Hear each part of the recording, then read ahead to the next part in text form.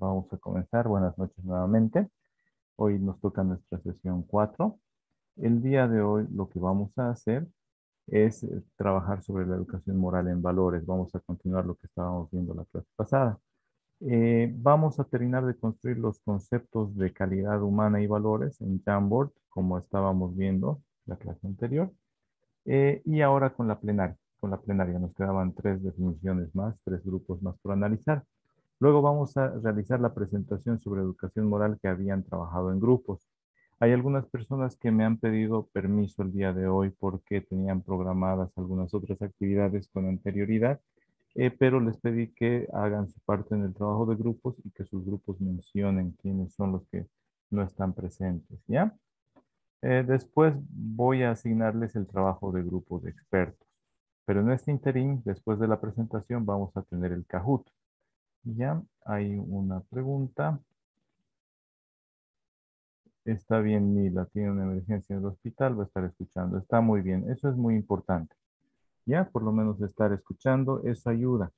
Las intervenciones que tienen sus compañeros eh, eh, son muy buenas. Si se puede participar, mejor. ¿Listo? Entonces, para la presentación sobre educación moral vamos a tener 65 minutos y eh, después 45 minutos tengo previsto para que trabajen en grupos, para leer y realizar una presentación o algo, pero va a ser trabajo de grupos de expertos. Les voy a explicar enseguida cómo va a ser esa parte. Pero vayámonos a la explicación de eh, lo que nos faltaba en eh, plenaria de el Jamboard. ¿Listo? Voy a compartir en este momento Jamboard. Espérenme, por favor.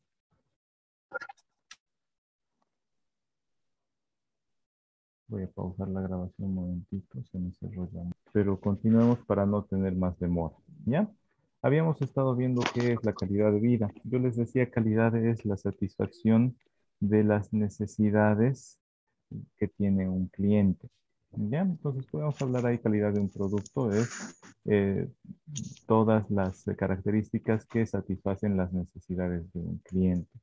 Calidad de persona o calidad humana son todas las características que tiene una persona que satisfacen las necesidades de la sociedad.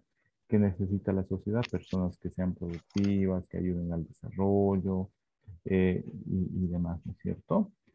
Eh, además, esa calidad de vida a las personas a las personas específicamente, les ayuda a tener una vida plena, a desarrollarse en una vida plena. Y está influida por características como el medio ambiente en el que vive, eh, la salud física, mental que tiene, esa sensación positiva, ¿no? Está influida por los ingresos económicos, la estabilidad social, laboral, la paz que se tiene, el acceso a servicios de educación, salud, servicios de saneamiento básico. La calidad humana, por su parte, la calidad humana es un conjunto de valores, hábitos, características y aptitudes mentales de las personas eh, que hacen que esa persona eh, sea, eh, sea requerida. Es decir, son las características que tiene la persona y que satisface las necesidades de la sociedad. ¿Ya? Después estábamos por comenzar el tercer grupo. Ahora sí, ¿qué se entiende por valor o por valores? ¿Quién quisiera explicar esta parte? ¿Alguien del grupo 3?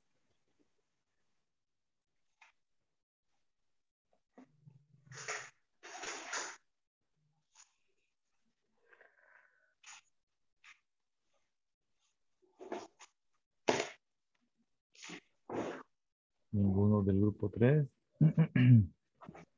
Debe haber alguien, ya son 30, 30 participantes. Alguien del grupo 3.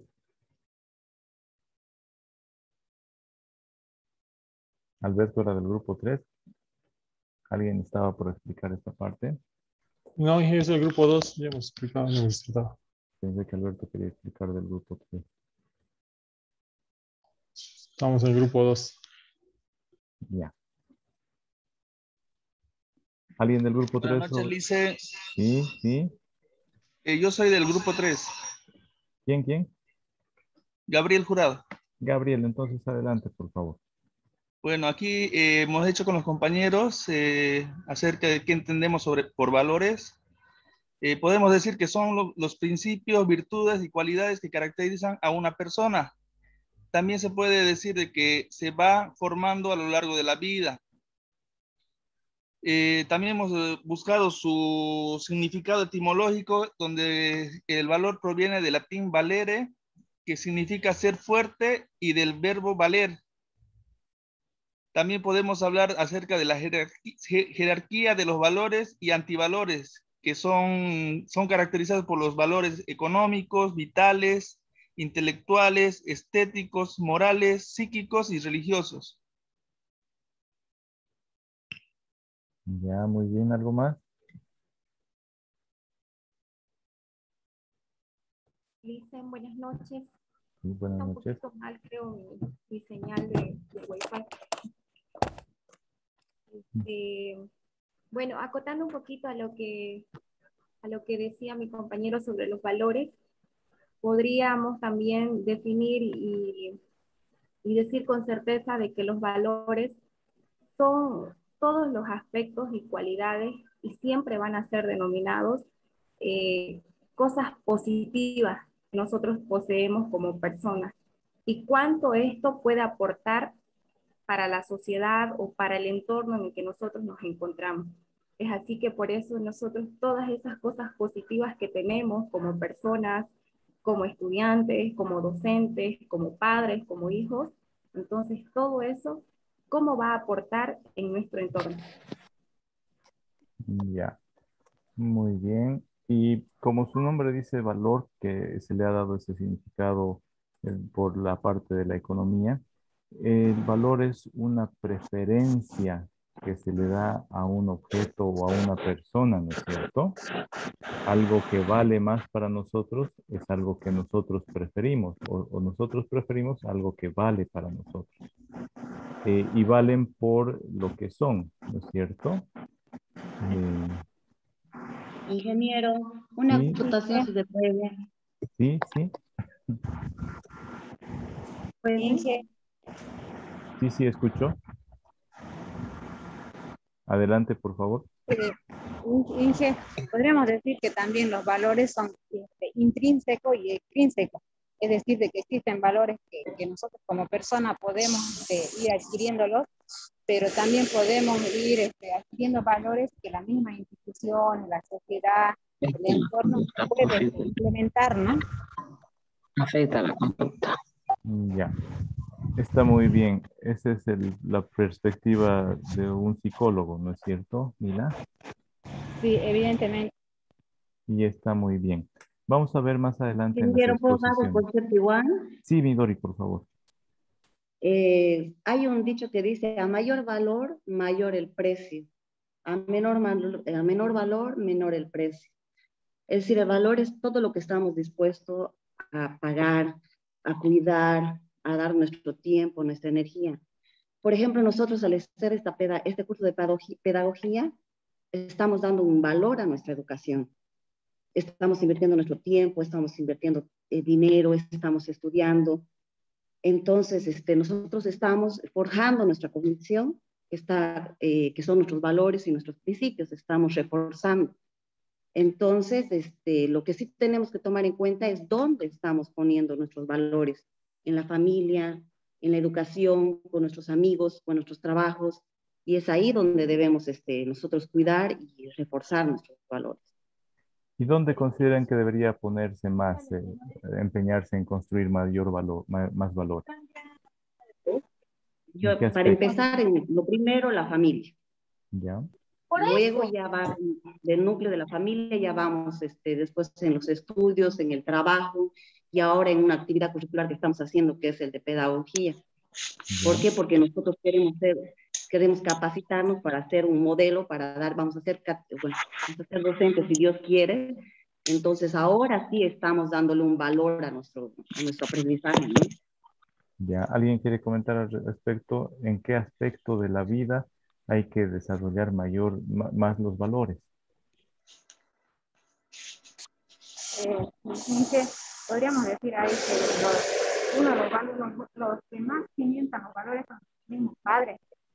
Luego, como quien dice, ¿no? Este, el maestro, maestro en colegio, luego los amigos, luego los familiares y posteriormente las instituciones, como por ejemplo este, y la misma sociedad en que, que nosotros vivimos. Mucha gente que, que nuestros hijos o las personas adultas cometen ciertas conductas no adecuadas o antivalores, que buscamos ayuda en las instituciones también, ¿no? Está muy bien.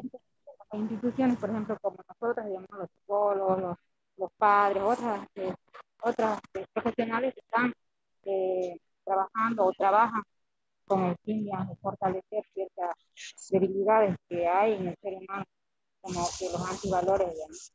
Pero lo más importante es que nosotros mismos como sociedad y como instituciones somos parte de, de inculcar a valores a, a, nuestros hijos, a nuestros jóvenes. Pero yo creo que lo primero que es lograr. Ya, muy bien, Mila, gracias. Primero Patricia, luego Noelia y después Juan Carlos, por favor. Están levantando la mano. Buenas noches, ingeniero. Buenas noches, Buenas compañeros. Noches. Este, yo creo que lo más importante o en la etapa más importante donde tenemos que transmitir los valores es cuando tenemos los niños, en los niños. Eh, inculcarles para empezar saludar. Eh, son cosas, como dice mi hijita, dice, ¿no? Las palabras mágicas. Por favor y gracias. Entonces, es un valor que, que cuando empezamos desde niños a inculcarle, yo creo que automáticamente va creciendo eso como una bolita de nieve eh, en la educación de ellos y, y cuando ya son grandes, eh, profesionales, entonces como que se les hace más fácil eh, inculcar ellos y, transmitir la, la, la, educación, el respeto, los valores, eh, lo que, lo que encierra todo esto, lo que es para mí el respeto más que todo, es el, el principal valor que tenemos y, y, es lo que tenemos que inculcar. Yo creo que desde niños, desde lo que la, la, lo, los niños empiezan chiquititos, entienden.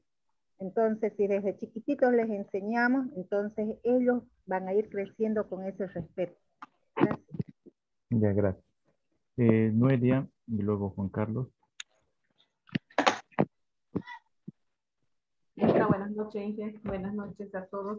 Bueno, sí, como decía la compañera también, Patricia, uno de los pilares fundamentales la aplicación de los valores es nuestra infancia, en el, dentro de lo que es el entorno familiar, ¿no? Hoy en día estamos viendo bastante cantidad de violencia, la pérdida de valores hoy en la actualidad, que no se está llegando a inculcar. Se ve a los niños ahora en vez de que jueguen, están jugando con actos celulares, la tecnología, el avance de la tecnología también está influenciando mucho generalmente lo que viene a hacer es sobre respecto a los valores. Hoy en día ahora generalmente ya los valores generalmente se están empezando a perder y yo creo que es momento nuevamente de nosotros de volvernos a utilizar dentro eh, uno de nuestro ámbito y entorno familiar y otro dentro de nuestra formación viene a ser como casa superior eh, dentro de lo que viene a ser la universidad, ¿no? Que también es como otra segunda casa generalmente donde debemos inculcar y, y empezar a, también a practicar para seguirlo tomándonos y seguir con esta línea que no debe de perderse, ¿no? Como estamos ahora. Ya, gracias. Juan Carlos. Buenas noches, ingeniero. Buenas noches, compañeros. Bueno. En base a lo que han dicho las, las demás compañeras, este, parto de la misma idea de que la edad privilegiada para valores es desde que nace hasta los 12 años. Eso lo dicen los libros, lo dicen los expertos, que una vez pasados los 12 años el niño difícilmente ya se puede educar, corregir, ya tiene una actitud para largo, en base a lo que ha formado hasta sus 12 años. Hoy en día podemos ver que los valores se han perdido totalmente. ¿Por qué? Porque... Uy, perdón Juan Carlos. Es tu audio, por favor. Ahora sí. Sí, sí, por favor. Se puede ver que los, los, niños hoy en día no respetan, almuerzan con el celular, están en las charlas con el celular, los mismos mayores, adultos mayores. Entonces, esa es una pequeña pausa para ver de que la inculcación de valores debe partir de casa. Tanto el docente trae de casa, como el estudiante, como las demás personas, todos traemos de casa los valores y cómo nos, nos comportamos hacia adelante desde casa. Difícilmente una persona a los 20, 30 años va, va a poder, va a poderse inculcar valores fijos.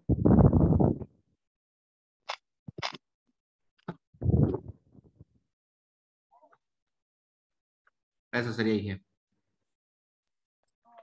Ana Rosa, por favor. Eh, buenas noches, ingeniero. mi opinión igual es similar ¿no? a los de los compañeros. Creo que considero que la etapa idónea para adquirir los valores este, es en la etapa donde se va formando el individuo, ¿no? O sea, eh, ya partiendo desde la niñez, ¿no? Los padres son ahí los que deben ser, digamos, los, formadores de, de, los niños. Entonces, esa es la, la, primera etapa donde se comienza, ¿no? Para transmitirle los valores y enseñarles desde el hogar. Y bueno, eso continúa formándose, ¿no? En, a través de lo, del colegio, ¿no? Los maestros y, y, es, como algo que se forma durante toda la vida, ¿no? Porque continúa en la universidad, porque los docentes eh, continúan, digamos, inculcándole este, valores a, sus alumnos. Entonces, eh, considero que es en, en la etapa donde se va formando el individuo. Muy bien. Entonces, todas estas últimas participaciones coinciden en que la primera escuela es la del hogar, eh, Juan Carlos dice hasta los 12 años se forman los valores, pero la primera escuela, la del hogar, eh, hay algunos estudios que dicen que los cinco primeros años de vida de una persona es donde se le forma y esos cinco años son fundamentales para el desarrollo de la personalidad de la persona. Es decir, lo que se le enseña en esos cinco primeros años de vida es lo que define a la persona. ¿Ya? Em, entonces, la pregunta que yo les había hecho, ¿cuál de los aspectos es aquel en el que se tiene que eh, profundizar? Midori decía primero la familia, luego está el trabajo, los estudios y demás. Recuerden que el título de este módulo es formación integral. Entonces no tenemos que descuidar ninguno de los otros aspectos. Primero, obviamente, eh, los valores eh, personales, morales, los valores educativos, porque tenemos que enseñarles a los estudiantes, sobre todo, a ser personas eh, morales, eh, con, que sean honestos, respetuosos, eh, o, que sean solidarios y demás, valores morales, pero también los valores educativos, en el cual tiene que estar la perseverancia, la disciplina, la disciplina no en cuanto a no usar malas palabras, sino disciplina en cuanto a que tienen que hacer lo que tienen que hacer cuando lo tienen que hacer. Tienen clase el viernes por la noche y el cuerpito sabe que es viernes, bueno, primero pasan la clase y luego le dan al cuerpito su, su, premio de haber trabajado toda la semana porque el cuerpito sabe que es viernes, como dice un radio locutor de acá de Yacuiba que desde las 6 de la mañana anda gritando es viernes, viernes, viernes, viernes, viernes, viernes, ¿no? Y todos lo conocen a Juan Castillo a Juan Carlos Castillo. Entonces, eso en cuanto a valores. Valores es aquello por lo que la prefieren a la persona. Vamos a, vamos a volver a tocar esta parte en el Kahoot. El Kahoot no es solo para, para evaluar, es para retroalimentar y para que ustedes puedan transferir el conocimiento que están adquiriendo, puedan procesar y aplicarlo. De esa manera, al realizar esa acción, están terminando de asimilar. Por eso el Kahoot de hoy va a ir después de las, de las presentaciones que van a realizar. ¿Listo? Eh, entonces continuemos con el eh, siguiente grupo, el grupo 4. ¿Qué son los valores formales y qué son los valores formalizados, personalizados, perdón? El grupo 4. Buenas noches. Yo voy a exponer el grupo 4. Está bien, Gabriela. Este, bueno, empezamos por los valores formales.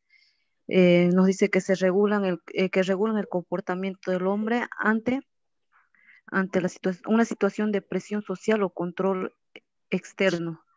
Eh, en este punto podemos ver que los valores nos dan a nosotros pautas de comportamiento. este, en nuestro día a día de vida, ¿no? El respeto, la honestidad, el tema de responsabilidad y todas esas características que hacen a la persona, a la persona como una persona educada, en otras palabras, una persona, este, se dice con valores, porque los vamos adquiriendo desde que somos niños, nos enseñan en la escuela, lo aprendemos a lo largo de nuestro, de nuestro estudio, de nuestra carrera hasta que somos profesionales. Entonces, incluso las leyes y todos nos, de alguna manera nos obligan a tener este, comportamientos este, formales dentro de lo que son los valores. A eso se refiere. Los valores formales es una gama de elementos que va a dar una definición de una forma. Además, el valor es importante ya que sin esto no hay entendimiento de la obra que, que se esté tratando. Es algo importante, es algo importante que le da. Y bueno, como yo le decía, este, el, mundo, la sociedad en la que vivimos, de alguna manera, este, nos da esa pauta de comportamiento. Nosotros también al analizarnos internamente, este, nos ponemos nuestro, nuestro propio valor formal a la hora de relacionarnos con los demás. Dentro de las características podemos decir que suscitan deseo, apetencia en el sujeto, poseen fuerza para orientar la vida humana, todo valor tiene un antivalor. Y, y, bueno, las cosas que pasan día a día nos obligan a nosotros a reforzar nuestro valor, el tema de violencia, el tema de, de eh, falta de empatía, y todos esos factores que actualmente nos están agobiando como sociedad y, y, que a la vez son antivalores, ¿no? Pero a nosotros las personas que estamos este, tratando de mantener nuestros valores, educar a nuestros hijos, enseñar a, nuestra, a nuestras familias, estamos este, tratando de imponer el valor, ponerlo como, como algo este, interno de ellos para, para ser personas de bien y los valores personalizados eh, hacen referencia a la expresión legítima y auténtica del sujeto que los asume. También decimos que, es la creación del valor propio en un individuo. A eso ya van, este, se refiere más al tema de, cómo nosotros eh, enseñamos el valor, las técnicas que podemos utilizar al, al qué sé yo, al informar, al educar a los niños, o el, por ejemplo, el caso que usted está haciendo, usted tiene una técnica personalizada para enseñarnos el tema de valores y hace referencia a ese tipo, a la creación propia de valor, a la forma o el contenido que nosotros podemos dar para enseñar el valor. Ya. Entonces, los valores formales eh, regulan el comportamiento. Los valores son reguladores porque mueven, o motivan a las personas a comportarse de alguna manera, los valores y los antivalores. Entonces motivan al comportamiento. Los valores se, eh, son expresados, son expresión, se expresan mediante el comportamiento de las personas. Los valores formales son más resultado de una presión externa. Bueno, todos están comprando rifas solidarias. Eh, bueno, yo voy a quedar mal si no compro. Entonces, compra la rifa solidaria, pero no por solidaridad que se nazca de adentro, sino por una presión del que dirán, por vergüenza no comprarlo. O da limosna porque todos están dando limosna, no porque le nace. ¿Ya? Eh, en cambio, los valores personalizados ya están internalizados. Eh, no necesitan que haya otras personas para comportarse de esa manera siempre dice la verdad, aun, eh, porque, porque le nace, necesita decirla, necesita satisfacer esa necesidad que tiene la persona de decir la verdad. En cambio, si el valor eh, de, decir, de ser honesto fuera un valor formal, eh, diría la verdad solo si, si, si se da cuenta que los demás saben cuál es, cuál, qué es lo correcto, cuál es la, la, la cosa cierta, ¿no es cierto? pero si le conviene decir una mentira, la diría. ¿Ya? Solo si sabe que todos los demás saben qué es lo verdadero, entonces ahí lo dice porque es un valor formal. Por el que dirán los demás, por una presión externa o social. ¿Ya? Entonces esa diferencia entre los valores formales y los personalizados. Veamos el último grupo, por favor, y luego hacemos la presentación. El grupo 5, relación entre existencia objetiva y existencia subjetiva de los valores.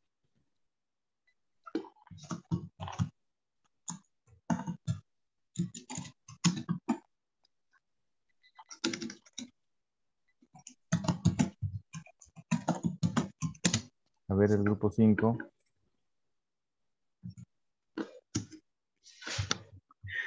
Ya, Licem.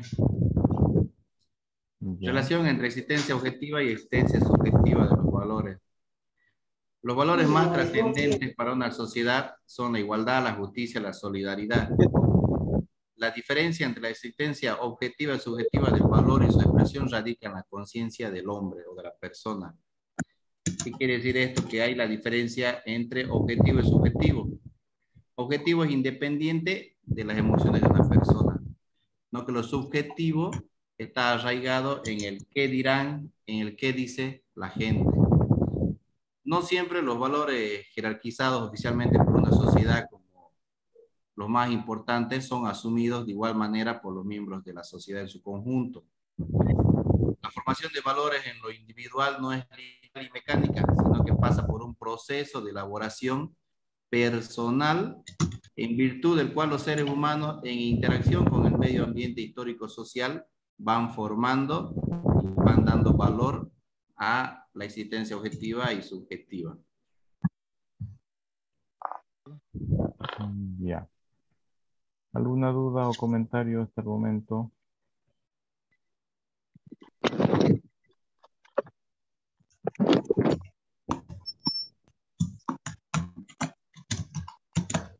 Ya, lo que quiere decir que los valores subjetivos dependen de cada persona y de su, eh, de su contexto, ¿no? porque han sido elaborados esos valores de forma subjetiva eh, de acuerdo al contexto en el cual ha vivido esa persona. Entonces, eh, él desarrolla su propio sistema de valores en función de sus experiencias, de cómo ha vivido, ¿ya? Y también las razona, las razona desde su punto de vista como persona única, es decir, desde su punto de vista subjetivo. Y los valores, eh, eh, la existencia objetiva de los valores es más, más general, ¿no es cierto?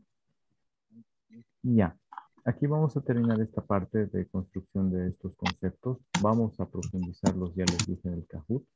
Y ahorita vamos a hacer una exposición.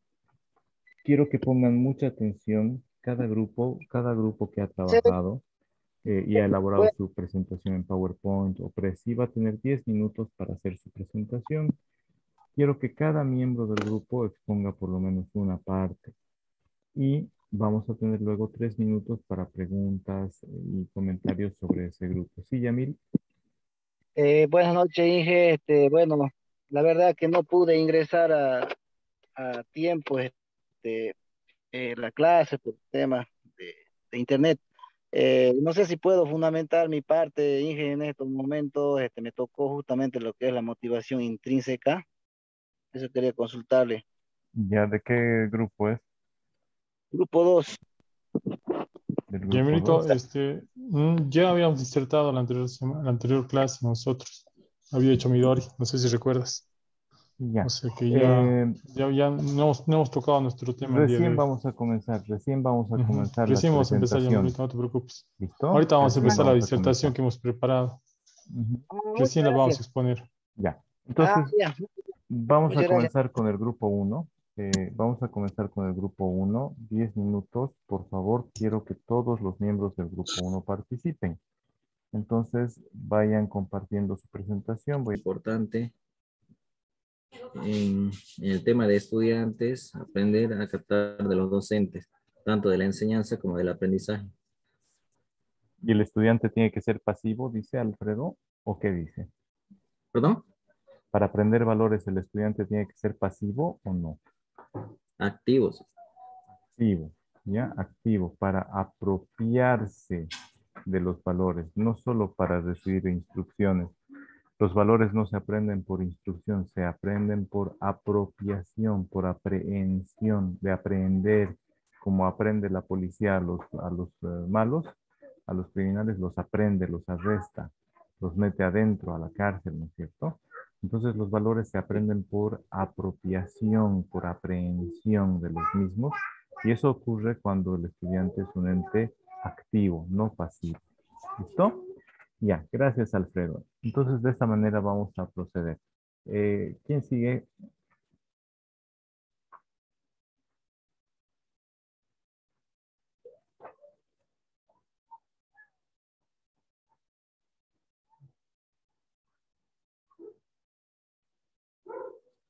Sí, están sin, están sin sonido. Adriana creo que sigue. Ya, active el micrófono. Pueden hacer más grande la pantalla también.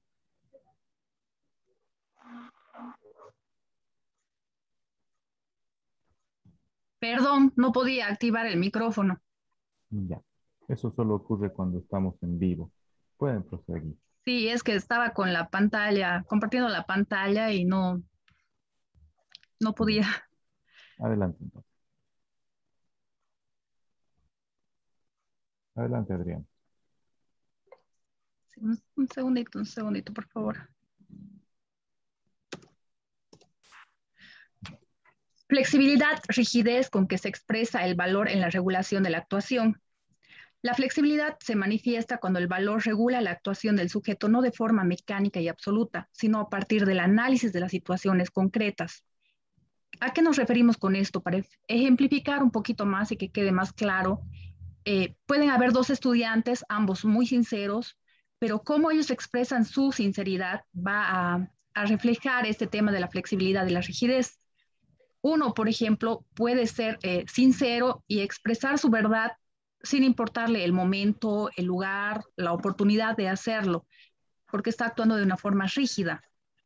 En cambio, otro, también sincero, pero más analítico, más pensante, eh, puede expresar su sinceridad, pero buscando el momento oportuno de hacerlo. Y eso es lo que se tiene que buscar, que las personas eh, apliquen eh, valores, pero de una forma analítica y buscando la, propiedad de hacerlo. Muy bien. Entonces, un momentito antes de continuar. Yo, por ejemplo, les decía, me gusta decir la verdad siempre, no importa la situación. Pero lo que sí hay que hacer, hay que tener tacto, ¿no es cierto? Lo que está diciendo Adriana es, hay que tener tacto para aplicar el valor. Eh, si le dicen a alguien, te preguntan, ¿estoy gordo? Sí, estás gordo. Y por ahí tiene problemas de, peso, de bulimia o de, o de eh, ¿cuál es la otra? Eh, en la que tienen poquito peso y se pueden suicidar anorexia, anorexia y pueden dejar de comer hasta, hasta, hasta, hasta morir, ¿no es cierto?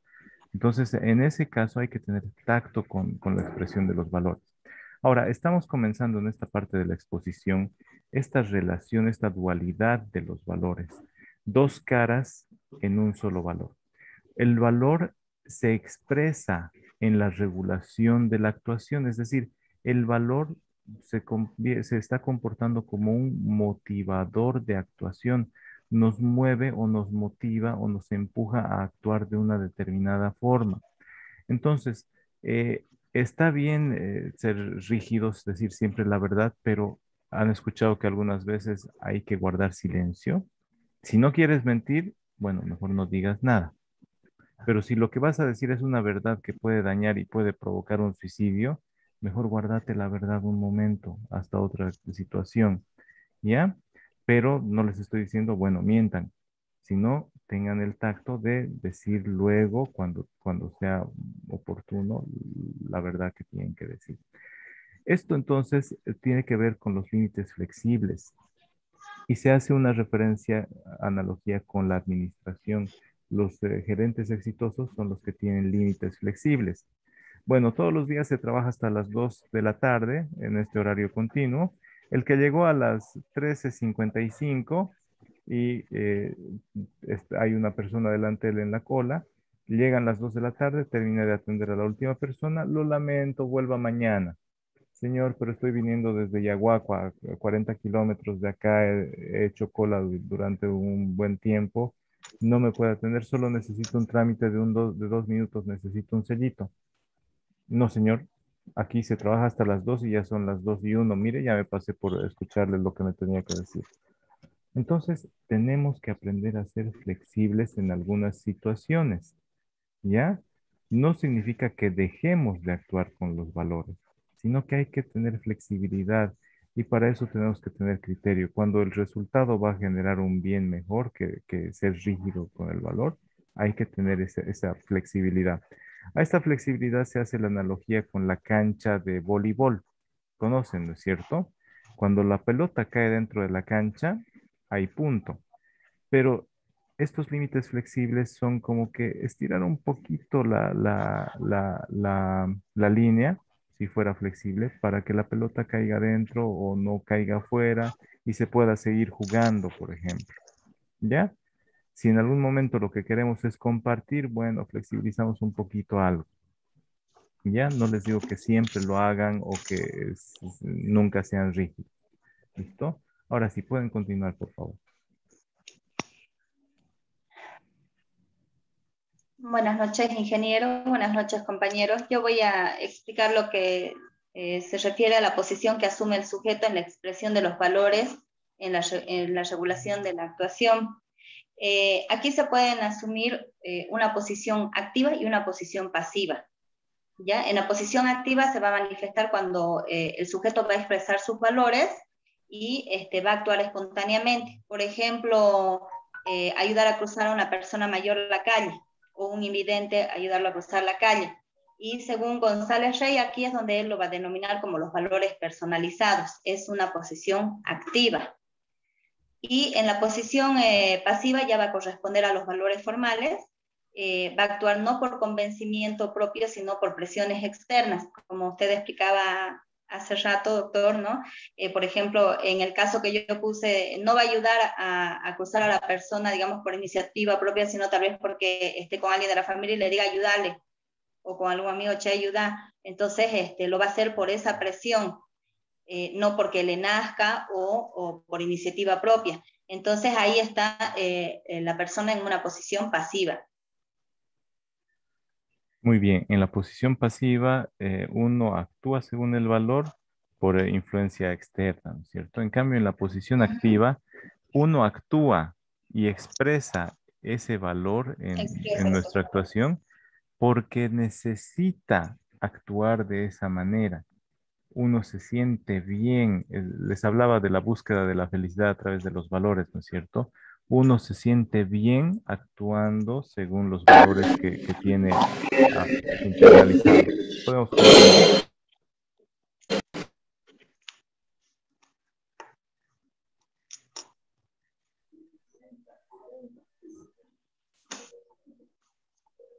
Buenas noches, Inge. Buenas noches, compañeros a mí me tocó este, explicar un poquito acerca, digamos, del grado de mediatización de la, de la conciencia en la expresión de los valores.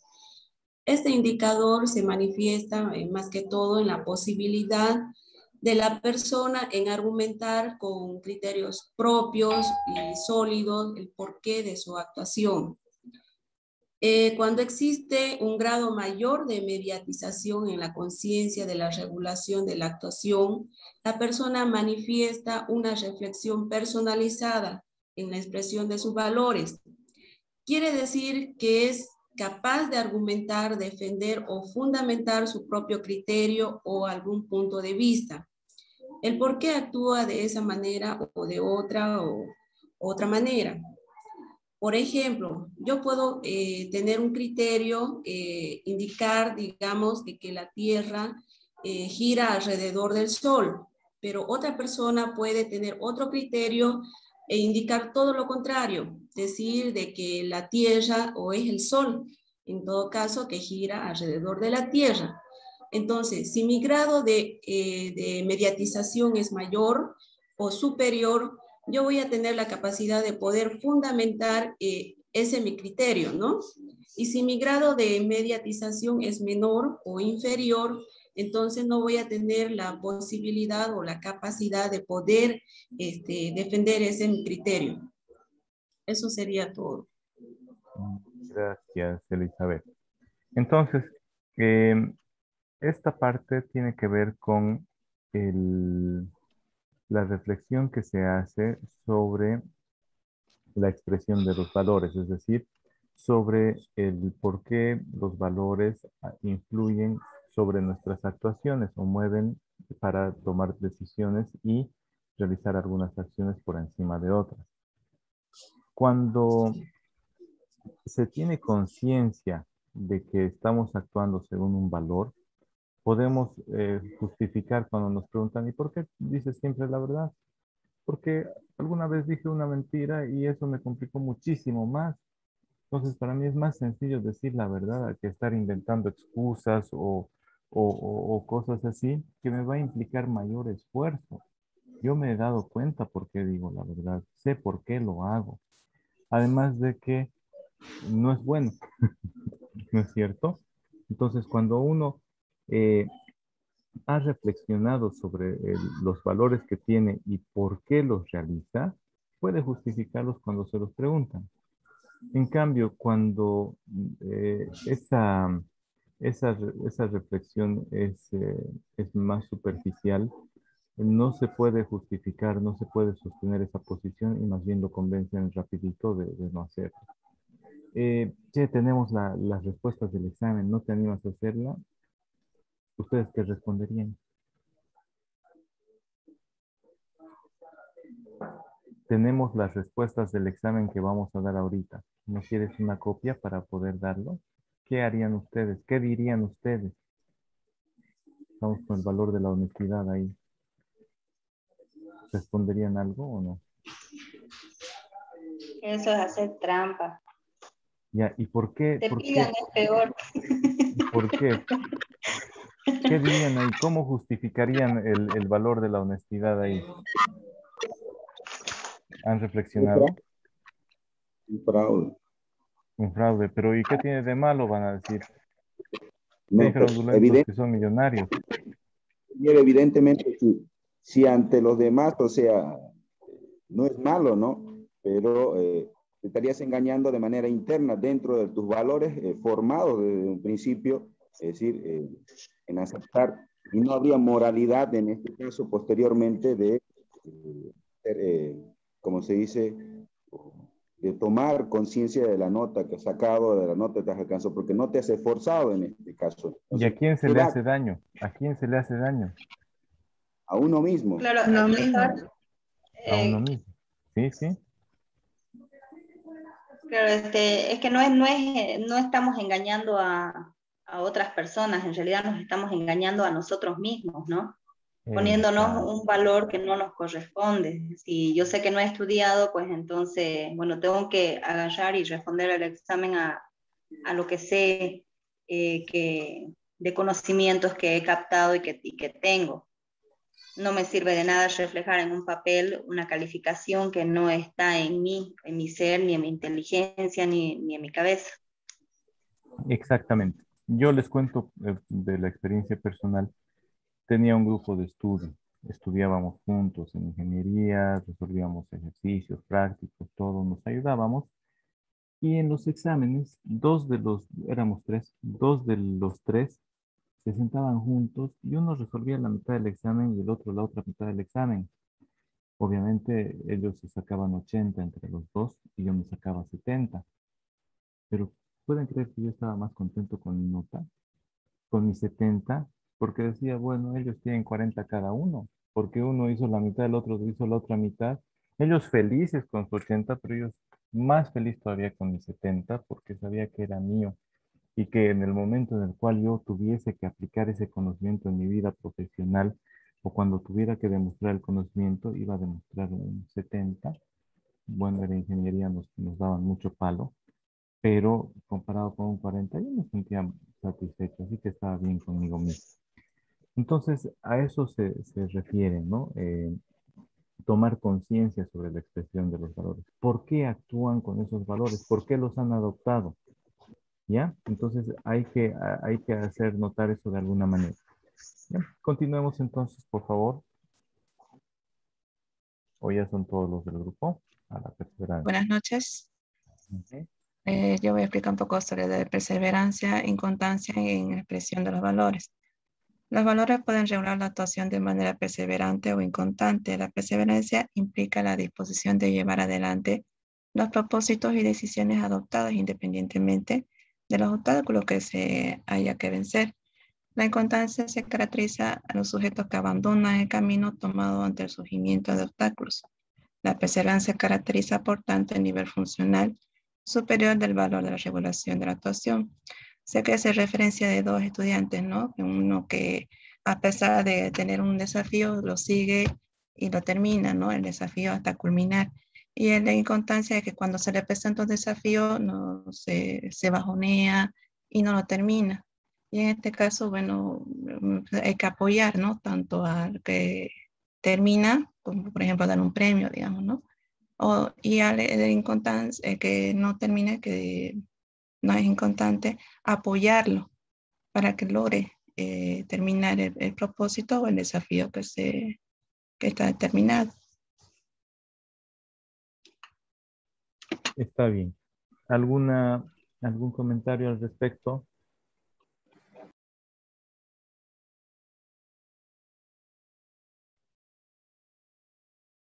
Lo que su compañera Karin dice, que eh, a veces nosotros decimos, sí, yo soy honesto, pero a veces cuando en el trabajo nos dicen, quiero que me firmes esta orden indicando que ha entrado este material y nos dice el dueño de la empresa. Y ustedes le dicen, pero eso no está bien, no es correcto. No, pero firmalo nomás o si no voy a tener que buscar a otra persona. Y se pone complicada la situación, ¿no? Eh, y lo piensa la persona, bueno, si no hago lo que me está pidiendo, entonces tal vez me vaya a despedir. ¿Qué harían ahí? ¿Serían perseverantes con el valor o inconstantes en, ese, en esa situación?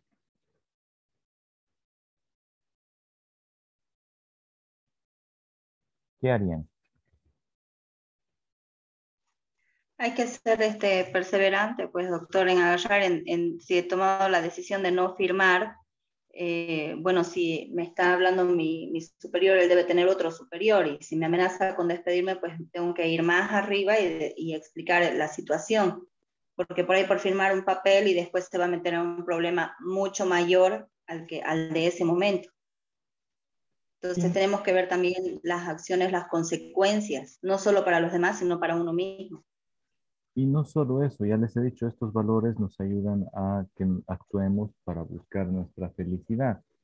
Si rompemos nuestro esquema de valores, ¿creen que vamos a estar felices? ¿Creen que ese ambiente de trabajo va a estar feliz?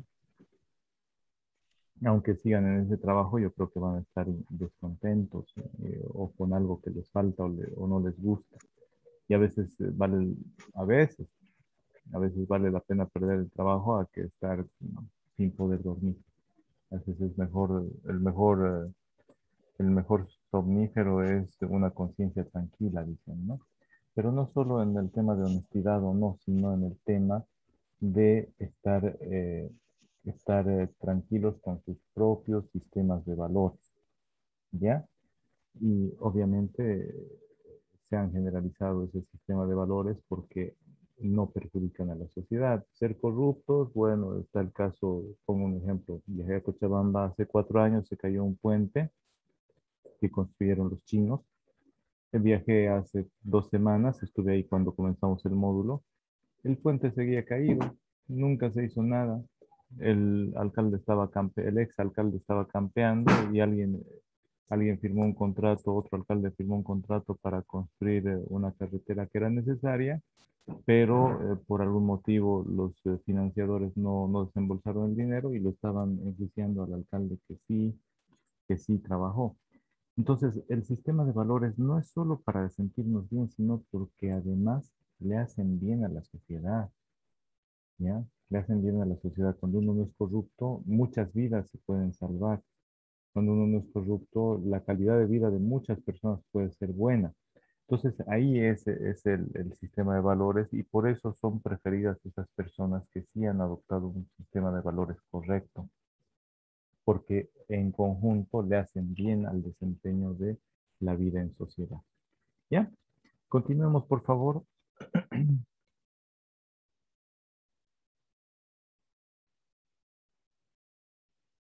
Va a continuar. Celinda.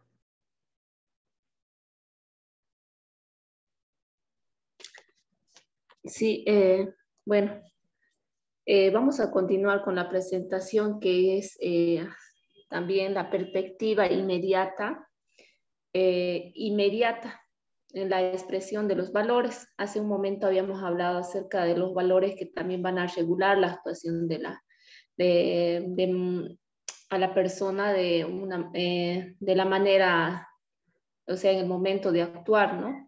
que esta, eh, estos valores también podrían actuar eh, de manera inmediata, eh, inmediata, o también podrían ser a largo plazo. Muchas veces, este, por ejemplo, aquí nos dicen dos estudiantes pueden manifestar responsabilidad en el estudio. En un caso, la responsabilidad se limita al cumplimiento de las tareas relativas al estudio de las asignaturas que cursa perspectiva inmediata. O sea, es en el momento que este estudiante va a estar siendo responsable. En otro caso, la responsabilidad podría manifestarse eh, a largo plazo, ¿no?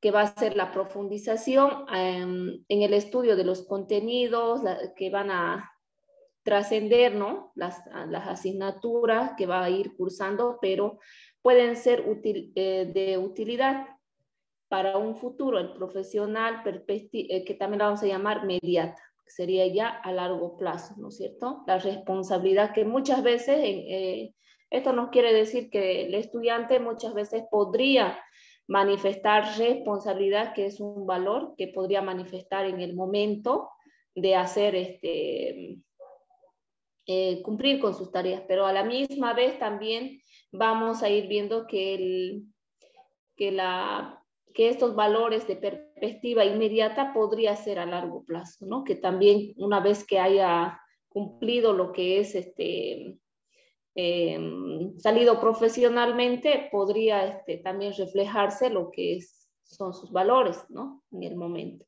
o a veces solo por responsabilidad nada más cumple en el momento, pero a largo plazo ya no, ya no actúa de esa manera, ¿no? eso es lo que se refiere a la perspectiva mediata e inmediata, expresa, con la expresión de los valores. Ya, entonces, eh, ¿cómo se, se, expresan los valores? ¿Con, una, ¿Con un horizonte de corto plazo o de largo plazo? ¿Con un horizonte inmediato? a largo plazo o inmediato. Gabriela tiene alguna consulta, está levantando la mano. ¿Algún comentario? No, Inge, solo quería acotar que, que existe una, una relación muy directa en la expresión de los valores en cuanto al tiempo. Las personas este, solemos este, actuar de acuerdo a nuestro, a nuestro momento, a la vivencia de nuestro momento. Por eso es que este, se, ve la perspectiva inmediata y inmediata. Según nuestra forma de vivir, nosotros vamos este, mostrando esas expresiones a lo largo de nuestra vida y, también cuando estudiamos y cuando incluso en la sociedad lo vemos en, todo tipo, en todo tipo, aunque hay personas que no suelen, ¿cómo se dice?, afianzar esos valores como tal a veces, como se dice, ¿no? Que la falta de valores suele ser, como en otras palabras, contagioso. Y empezamos haciendo creer a las personas que vamos a hacer tal y tal, como pasa con la política, por ejemplo. Empezamos haciendo promesas de, de responsabilidad, de, de una serie de valores que en ese momento para las personas es algo que se va a hacer inmediato, que, que se cree, pero pasa un tiempo y llega a ser como como una promesa a largo, a largo plazo que no todos llegamos a ver. Entonces es una, una cuestión de, de tiempo y según la conveniencia de, de, las personas, o sea, lo vemos, es un aspecto positivo, pero también se puede ver como un aspecto negativo. Era mi punto de vista de mí. Ya, gracias Gabriel, están bien sus. Em, entonces, eh, cuando hablamos de, acciones en el corto plazo, generalmente hablamos de medidas correctivas para una situación. Es decir, cuando algo salió mal, se hace una solución inmediata, ¿no? Pero cuando hablamos a largo plazo, lo que hacemos más bien son medidas preventivas. Y vale, eh, es más fácil prevenir que lamentar, ¿no? O prevenir que remediar. En ese sentido, eh, tiene mayor impacto la aplicación de los valores eh, a, un, a un mediano o largo plazo, no solo de manera inmediata.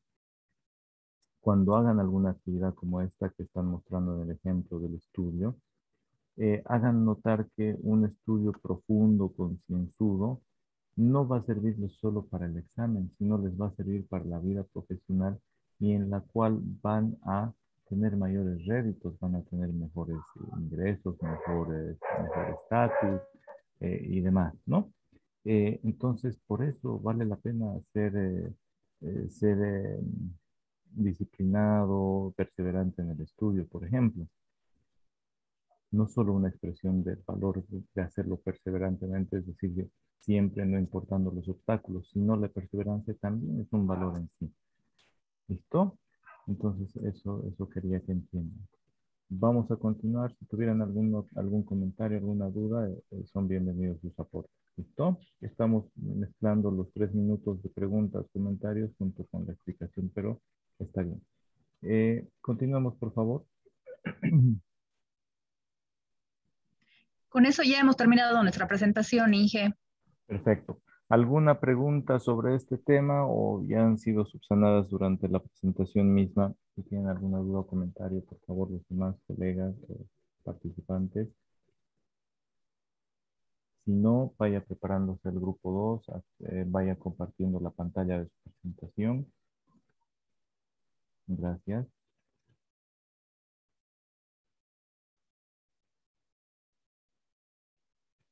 El grupo 2, por favor.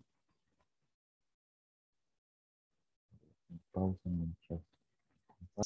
Este grupo ya está, ya esté. Pueden proseguir. Ya esté presente. Bueno, primeramente, muy buenas noches, estimado docente, eh, estimados colegas, compañeros del diplomado. Eh, vamos, a pasar a vamos a pasar hasta disertar nuestro tema. La verdad que lo quiero aclarar que lo hemos hecho bastante resumido por el tema de que nos habían, pensábamos que eran cinco minutos de exposición, entonces hemos sido muy puntuales en los puntos para no excedernos en el tiempo de la presentación. Bueno, el tema que nos ha tocado es el tema 2, que es cómo lograr una buena educación en valores. Eh, dentro de este tema tenemos que hablar de los, que los valores forman y desarrollan la personalidad durante la vida.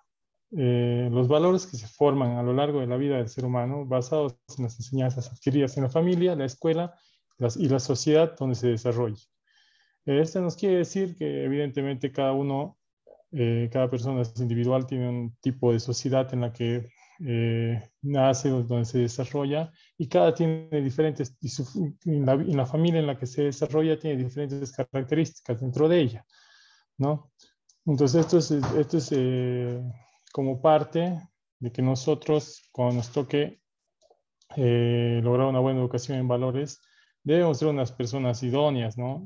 tanto dentro de la familia y cuando nos toque ser educadores, tenemos que hacerlos en las, respectivas este, unidades en las que nos encontremos, ¿no? Eh, desarrollando nuestras actividades.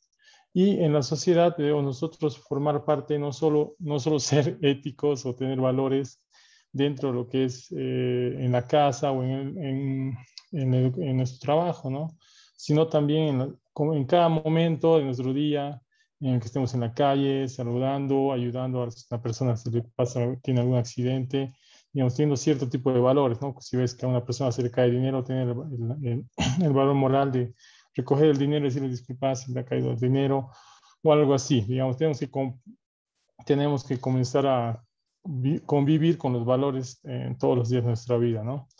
Según los valores eh, que el individuo haya aprendido, estos serán pilares para la formación y motivación de su personalidad. Evidentemente, como se explicaba antes, eh, cada uno en, el círculo social donde uno se reproduzca o se desarrolle eh, va a tener cierto tipo de valores más o menos que otras personas, dependiendo del tipo de vida que le haya tocado, el que, que haya tocado desarrollar por lo que es indispensable que los padres y maestros sepan brindar y ser ejemplo de un comportamiento digno y correcto ante la sociedad. Esto nos indica que obviamente que cuando nosotros nos llega, nos, nos, nos toca el papel de padre o el papel de maestro, debemos estar preparados, ¿no? Eh, tener los valores que la sociedad acepte y, bueno, realmente tener la ética para conformar y confrontar esto, lo que es la realidad de, de poder, eh, de poder eh, demostrar nuestros valores, ¿no? Ya, muy bien. ¿Algún comentario? Simplemente que nuevamente, ya habíamos ido conversando anteriormente, eh, los valores se adquieren en la primera escuela que es el hogar, en los primeros años de vida y también en la juventud, en la universidad, pero se siguen formando a lo largo de toda la vida de la persona. Estos valores, esta forma de comportarse en la sociedad ante distintas situaciones, van respondiendo al contexto en el cual se ha formado la persona, van respondiendo a las normas morales, a las reglas de comportamiento que se establecen en la sociedad y estas reglas de comportamiento son para tener una convivencia armoniosa en esa sociedad. ¿Ya? Son las normas, soluciones a problemas que se repiten. Entonces, se establecen esas normas de comportamiento y los valores lo que hacen es motivar eh, la actividad eh, en algún sentido para eh, satisfacer esas normas. ¿Ya? Vamos a continuar, por favor, con el mismo grupo.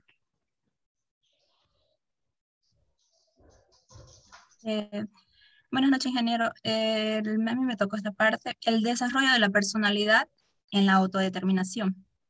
El individuo durante su etapa de vida como estudiante universitario llega a desarrollar una personalidad basada en el interés que muestra en su educación, la predisposición a aprender y el cúmulo de información que va adquiriendo en el proceso de aprendizaje, lo cual genera acciones en la toma de sus decisiones que reflejan en su calidad de vida.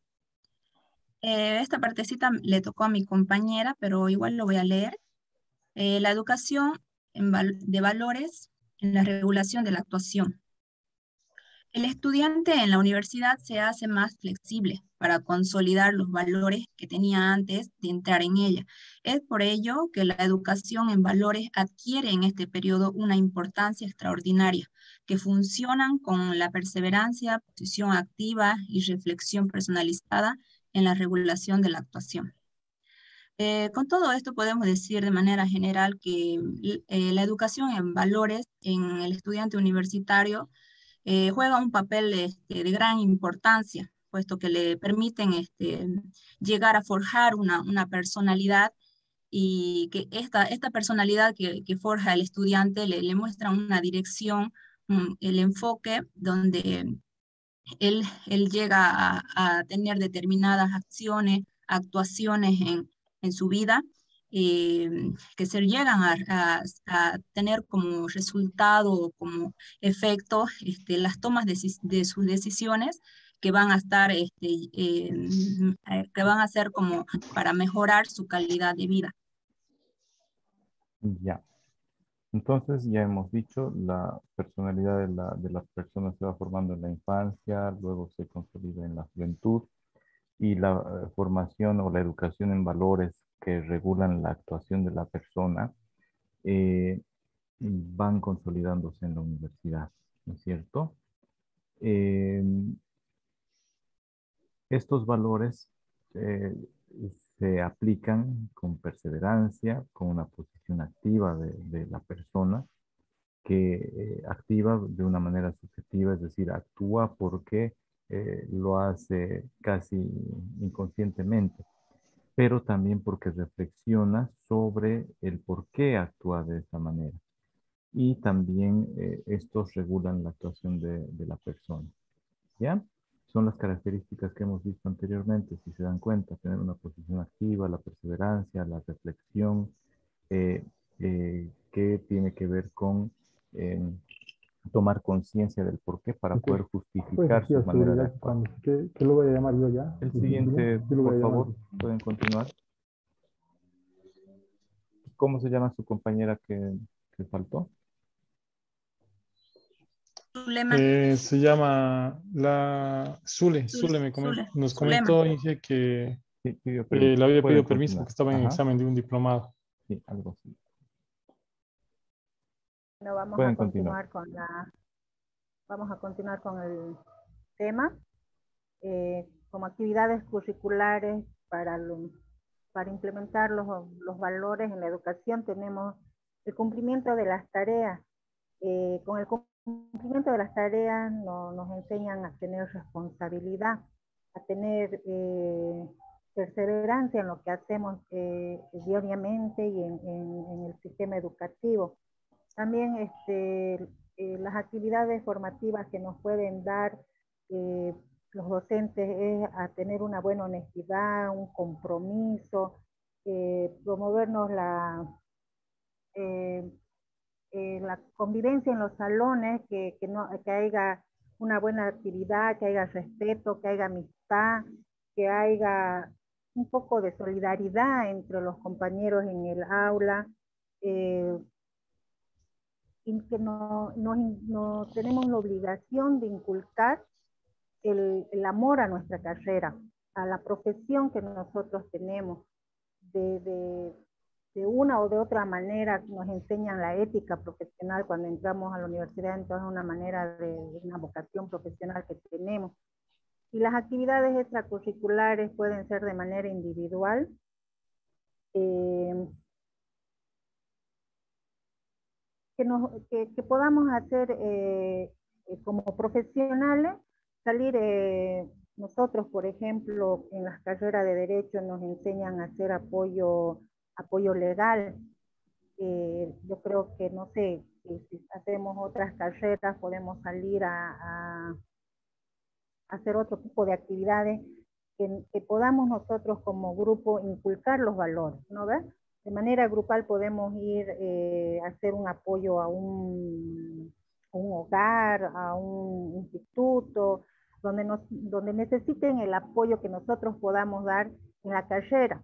Nosotros como abogados podemos hacer este apoyo, apoyo legal, los, los, enferme, los, los enfermeros pueden ir a hacer un apoyo de control arterial, no sé, o son, son ideas que tengo que se puede hacer eh, de manera extracurricular, que no esté dentro, de, dentro del aula, un trabajo de apoyo social.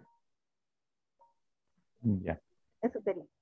Gracias. Entonces, con todas las actividades que se programan dentro del aula, eh, con todas esas actividades se eh, promueve la adopción o desarrollo o, o cimentación de los valores en los estudiantes. Al decirles, eh, tienen que entregar la tarea en tal plazo y se va a calificar con menos puntaje a los que entreguen después, ¿qué valor les estaremos eh, forjando a los estudiantes? Responsabilidad. Y otro, Cumplimiento. pun, Puntualidad. puntualidad. Después, Puntualidad. exacto. Después, eh, cuando se les dice al que se le encuentre copiando, se le va a anular el examen. ¿Qué valor se le estará forjando ahí? Honestidad. Honestidad. Honestidad, aunque entre con. Conciencia. Conciencia, pero sobre todo honestidad, pues. Y así, y así se van formando. Eh, el respeto, el trabajo en equipo, se va, form- se va formando en las mismas actividades. No necesitamos una clase.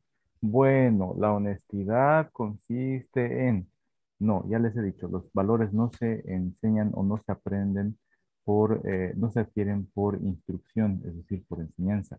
Los eh, valores se aprenden por la aprehensión, ¿ya? Por la práctica de los mismos.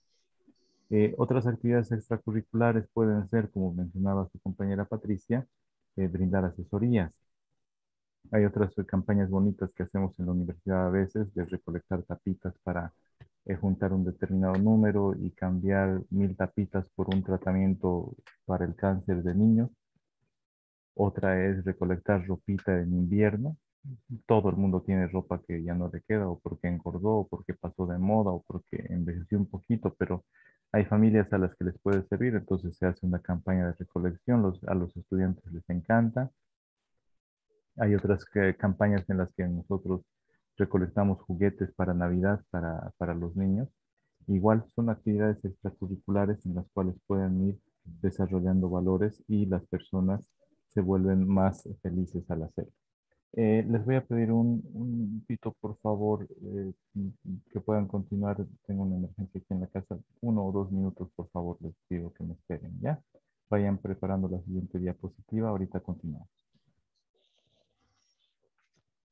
Adelante. Solamente vamos a hacer este, una analogía con el caso bien delicado que está pasando en Tarija. Toda actividad curricular o extracurricular que debe estar fundada en los valores, también debe estar adecuada a nuestras normas, como es la ley 04, como es la racismo y discriminación, la ley 07, la del niño Ciñani, la ley 233, la ley de personas discapacitadas. No nos olvidemos que las normas son reflejo también de nuestros valores y de nuestros principios. Por lo tanto, nosotros como futuros docentes debemos tener cuidado al, al practicar en nuestras actividades curriculares o extracurriculares todas estas normas para hacer una clase inclusiva y que no se discrimine o se, se, bueno, se caiga en ese tipo de discriminación. Eso sería, puntualcito. Muchas gracias, muchas gracias. Eh, proseguimos, por favor. Entonces hay que entender que puede haber otras, ya les dije, ya vivimos o siempre hemos vivido en un Estado plurinacional, donde hay más de 33 naciones y cada nación tiene su contexto, sus, eh, sus, eh, eh, sistemas morales, sus escalas de valores, y lo que para nosotros nos puede chocar, para la otra persona puede ser algo, mm, según su costumbre, positivo, ¿no? Entonces tenemos nosotros que tener esa perspectiva amplia y lo que dice Midori, la inclusión, es, un, es una característica o habilidad del docente el de la interculturalidad, de entender las distintas culturas, ser tolerante entre sí y promover esa tolerancia. ¿Ya? Eh, continuemos, por favor. Bien, y noches. Eh, voy a continuar con la exposición con relación al tema. Eh, no descuidándonos del tema en particular, el título, en este caso de cómo lograr una buena educación en valores. en este caso, eh, la motivación profesional, la motivación profesional constituye uno de los factores de primer orden, dice, en la educación de valores del estudiante o universitario. En este caso, eh, dentro de esto está la motivación eh, extrínseca, que es lo, lo, que constituye la parte exterior. Es decir, es un estímulo, en este caso diremos, ¿qué es lo que es la motivación? La motivación es aquello que te, que te lleva a aquel impulso, aquel deseo de seguir adelante, es decir, entonces, eh, dentro de lo que corresponde a, esta, a lo que es la motivación, tenemos la motivación eh, eh, extrínseca y la motivación intrínseca. En este caso, mi persona va a hablar con relación a la motivación extrínseca, que es un, dice que es un estímulo que nos impulsa a actuar, que son provenientes del exterior de la actividad que realizamos. Puede ser en este caso un impulso de esto, por ejemplo, que nos lleva, un ejemplo, es decir, una persona que tiene una profesión y que está trabajando, puede ser que no le guste en el trabajo que está, pero le motiva en este caso eh, a continuar con ese trabajo por el salario o por el sueldo que va a percibir a fin de mes. En otro, en otro de los casos, por ejemplo, que es, una, es un ejemplo de dinero que es de manera exterior y un reconocimiento también de igual manera. Como así también otro ejemplo, por ejemplo, es eh, cuando uno conoce a una señora, una dama, por ejemplo, a simple, eh, hay algo que nos llama la atención o hay una motivación exterior eh, para poder seguir adelante o enamorarla en otros casos. Dentro de lo que corresponde a la motivación, en este caso hay una, una pequeña fórmula que corresponde, que la motivación dice que es igual a, a un deseo eh, más una meta en otros casos y más a, las a los facilitadores en este caso. Nosotros como futuros profesionales, en este caso, como futuros eh, educadores en este caso, eh, tenemos que buscar eso desde un punto de, partida de vista, así como su persona lo hace, ¿no? Hay, hay diferentes estrategias de cómo motivar, en este caso, al alumno o, o al estudiante. uno de ellos es de la misma manera de cómo usted lo hace, que a través de, juegos, por ejemplo, online, que se motiva en este caso al estudiante o al participante a, querer seguir adelante o estar eh, empeñado en aprender en este caso. Eso sería eh, con relación a, mi exposición. Va a continuar en este caso mi compañero eh, Yamil. Yamil. Ya. Buenas noches, ingeniero. Bueno, un saludo cordial a todos los, compañeros de, diplomado. Bueno, yo voy a explicar también de manera puntual respecto a lo que vendría a ser la motivación intrínseca.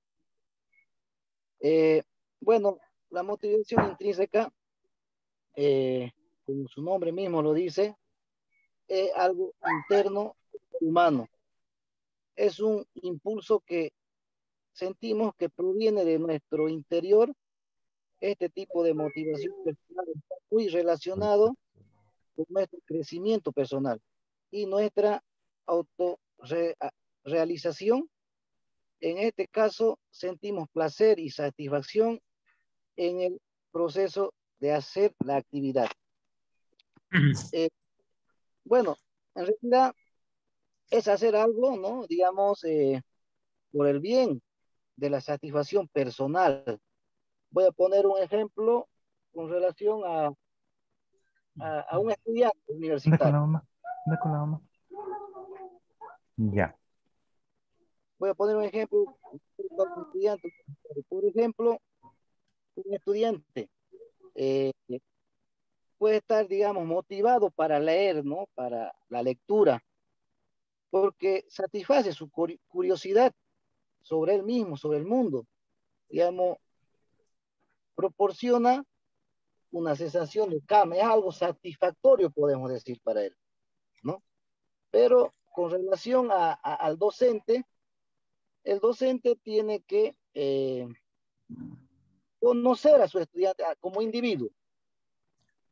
Y al conocer a su, al estudiante como, como individuo, en la práctica, digamos, de la docencia, debe actuar de manera dinámica, cambiar de estrategia en, clase, digámosle así, para que al estudiante lo mantenga interesado en la clase, ¿no?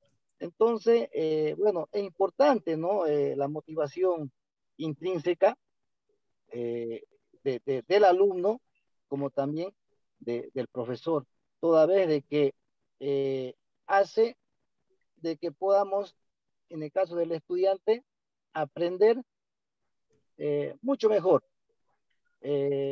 Hacer, digamos, hacer, digamos, una, muy buena persona dentro del aula, etcétera, etcétera. Eso simplemente es mi parte, ingeniero. Gracias. Entonces, eh, acá pueden observar ustedes que la motivación profesional es un factor grande, grande para poder enseñar en valores a los estudiantes universitarios, es decir, eh, mostrarles cómo es el desempeño profesional y qué valores necesita un profesional de esa carrera, de esa profesión para, eh, para comportarse de esa manera. Saben que las competencias que tiene que desarrollar un, profesional son la del conocimiento, eh, después son eh, saberes eh, conceptuales, después están saberes referidos a las habilidades y después saberes referidos al comportamiento, saberes actitudinales. Los valores están ahí en los saberes actitudinales, cómo se comporta la persona, porque son los valores los que mueven a, la persona a comportarse o actuar de determinada manera. Entonces, se ha visto que ejemplificando o mostrando el ejercicio profesional o en qué situaciones del ejercicio profesional se este, tiene que presentar esos valores, el estudiante ahí se motiva por aprenderlos mucho. ¿Ya? Entonces, eh, siempre más con la actividad que con la, las clases magistrales de enseñar cómo, cómo, cómo, cómo comportarse y con premios, ¿no? Bueno, todos los que, todos los que hagan la campaña de, de la ropita en invierno van a tener cinco puntos. Bueno, todos los van a hacer, pero con una motivación extrínseca. Pero hay otros que, que, ni siquiera necesitan nota y me cuentan, después de haber realizado las campañas de donación, los estudiantes se sienten muy contentos. Y dicen, ¿y ahora cuándo podemos hacer otra actividad? Es decir, les llenó de satisfacción haber podido actuar de esa manera. Se les hace referencia con la responsabilidad social de las empresas, eh, en la cual se dice una persona es miembro de la sociedad. Al mejorar la sociedad, al hacer nosotros un aporte para mejorar, mejora el entorno. Y ese entorno en el que vivimos mejora con las condiciones para nosotros mismos. Entonces es un ciclo, un ciclo virtuoso, no un ciclo vicioso. Es un ciclo virtuoso, una espiral de desarrollo en la cual nosotros realizamos una acción, transformamos a nuestro medio ambiente, nuestro ambiente nos transforma a nosotros, pero para mejor. ¿Ya? Entonces, hagan analogías con el desempeño profesional y con los valores que quieren ustedes inculcar en sus estudiantes. ¿Ya? Imagínense profesionales honestos, puntuales, responsables, disciplinados. No necesitan que su mamita a los 30 años vaya y les diga, hijito, tienes clases del diplomado, ¿a qué hora vas a hacer tu tarea? No, eso ya no. Un profesional ya no se comporta de esa manera. Entonces muéstrenles así cómo, eh, cómo ir desarrollando sus valores. ¿Ya?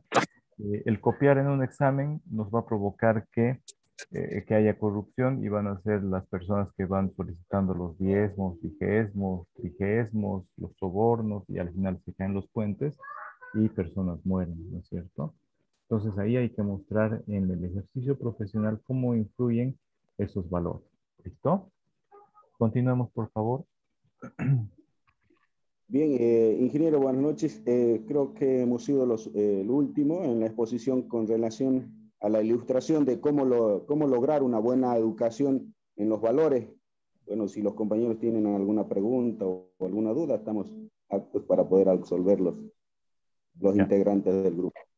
Está muy bien. ¿Alguna consulta? Si no, pasaríamos al grupo 3. Gracias, Isaías. No hay consultas, el grupo 3. Pueden compartir la pantalla los del grupo 3. Recién estoy regresando, Inge, se cortó de mi, de mi laptop el internet, no sé qué pasó, tuve que entrar por el celular. Ya, ya, prosigan entonces, Juan Carlos, el grupo 3. Somos cinco nosotros. Ya, el grupo 3 entonces. Un momento, Inge, estamos por compartirla. Perfecto, perfecto.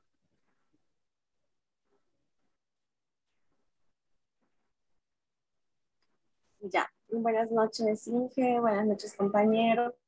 Eh, al grupo 3 nos tocó la psicopedagogía en los docentes universitarios. Como bien sabemos, la psicopedagogía es una disciplina caracterizada por su presencia en el campo de educación. Esta disciplina es una rama de la psicología que se encarga de, de aplicar los conocimientos tanto eh, conocimientos tanto psicológicos como pedagógicos, ¿no? A, a problemas propios del campo educativo. Ahora, como bien sabemos todos, que, los, que, el docente universitario es un especialista en su propia profesión, como lo somos todos nosotros en este momento, pero carecen de formación pedagógica. Y puntualmente todos nosotros de, del grupo de posgrado nos encontramos en este punto, que estamos recibiendo un curso, podríamos decir, un, un curso pedagógico, psicopedagógico para formarnos como docentes, porque en nuestra carrera universitaria hemos sido preparados para nuestra profesión, pero carecemos de una formación pedagógica. Y, y, y a, a ese término se va la formación pedagógica de los docentes universitarios.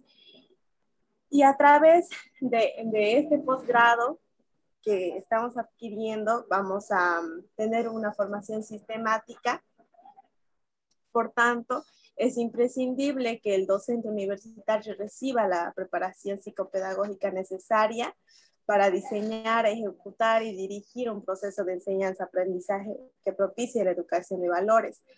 Es decir, que, que el docente estudiante van de una forma dialogada en enseñar y aprendizaje. Eso sería y le paso mi, turno a mi compañera. Un momento, un momento antes de pasar. Entonces, miren, la formación psicopedagógica, la forma de enseñar tomando en cuenta el comportamiento de, los estudiantes, ¿no? Y el, de los docentes también. Eh, el proceso dialógico docente-alumno eh, nos dice que esta formación de valores tiene que estar enmarcada en el diálogo constante, en la comunicación educativa entre docente y estudiante durante el mismo proceso de enseñanza-aprendizaje. Después, ¿cómo se va a formar los valores? A través de métodos participativos, en, los cuales los estudiantes tienen que participar. Ya les dije, van a aprender los valores, aprender, como hace la policía con los malos, va a apropiarse, a internalizarlos luego a través de actividad, a través de participación de los mismos estudiantes. ¿Ya? Eh, sí, eso lo va a hacer mi compañera. Y, la pequeña y la comunicación también basada en el respeto. Muy bien, continuemos entonces. Buenas noches, este, Inge. Eh, siguiendo y continuando con, la, con el desarrollo de este punto que nos ha tocado como grupo, eh, yo voy a hacer una mención de los elementos que son muy importantes y que consideramos nosotros importantes en este proceso de enseñanza-aprendizaje. Eh, como punto número uno tenemos el proceso dialógico entre el docente y el alumno, que es como bien usted lo decía, ¿no? Que se genere un, un diálogo y que no simplemente el alumno sea como un objeto, un objeto de recibir información y nada más, sino de que pueda generarse una participación. Para ello, es muy importante la buena implementación de los métodos participativos como instrumentos de interacción entre el docente y el alumno, es decir, las estrategias que el docente va a utilizar para poder generar este diálogo, generar estas, este proceso ¿no? de, de enseñanza-aprendizaje. Asimismo, esta comunicación que se genere entre docente y alumno siempre esté basada en el respeto mutuo. En esta primera diapositiva nosotros hemos tratado de hacer un resumen y en palabras claves poder explicar este punto que nos ha tocado y más a detalle mis compañeros van a ir un poquito profundizando más a través de unos esquemas que también hemos podido realizar. Le cedo la palabra a mi compañero. Perfecto, gracias. Adelante.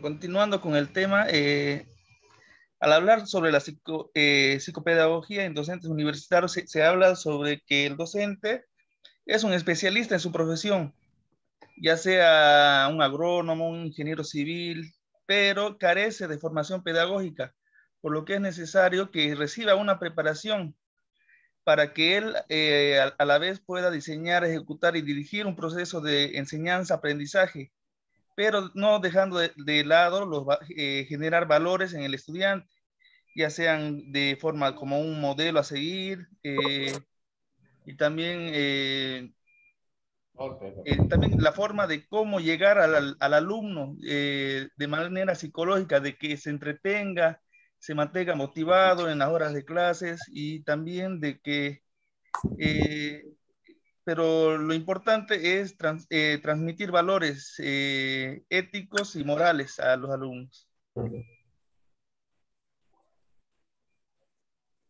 Ya. Etiqueta de guardia, no han puesto de guardia. Me dice, vení nomás y el domingo hacemos algo. Y le puesto ahí dice, le ve que si no vas a estar bueno. Continúen. Buenas noches. Eh, Voy a continuar, Inge, con lo que es la exposición.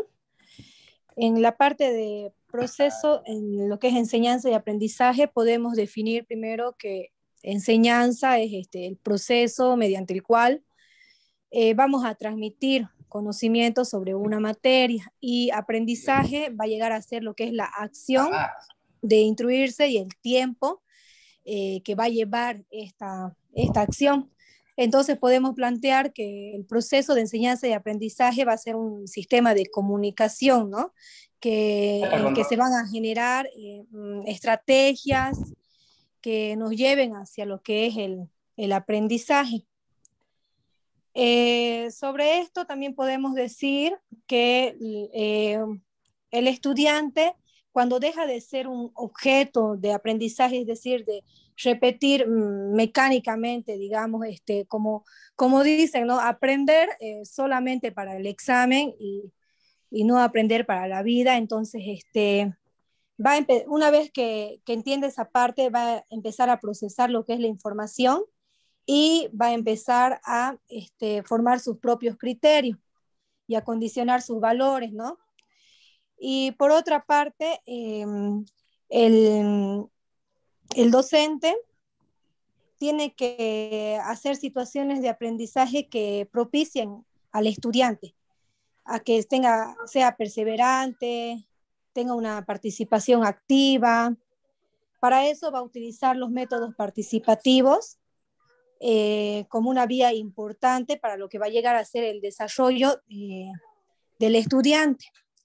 Y también es importante mencionar la comunicación que tiene que existir entre el profesor y el alumno, que tiene que ser eh, con el respeto mutuo, con confianza, donde el docente sea un modelo educativo. La siguiente diapositiva. Aquí está. Ahí como explicabas. Sí. los otros, pues.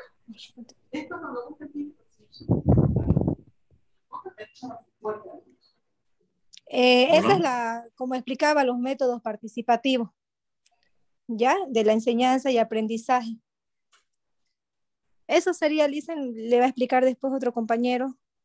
Ya, continúen, por favor.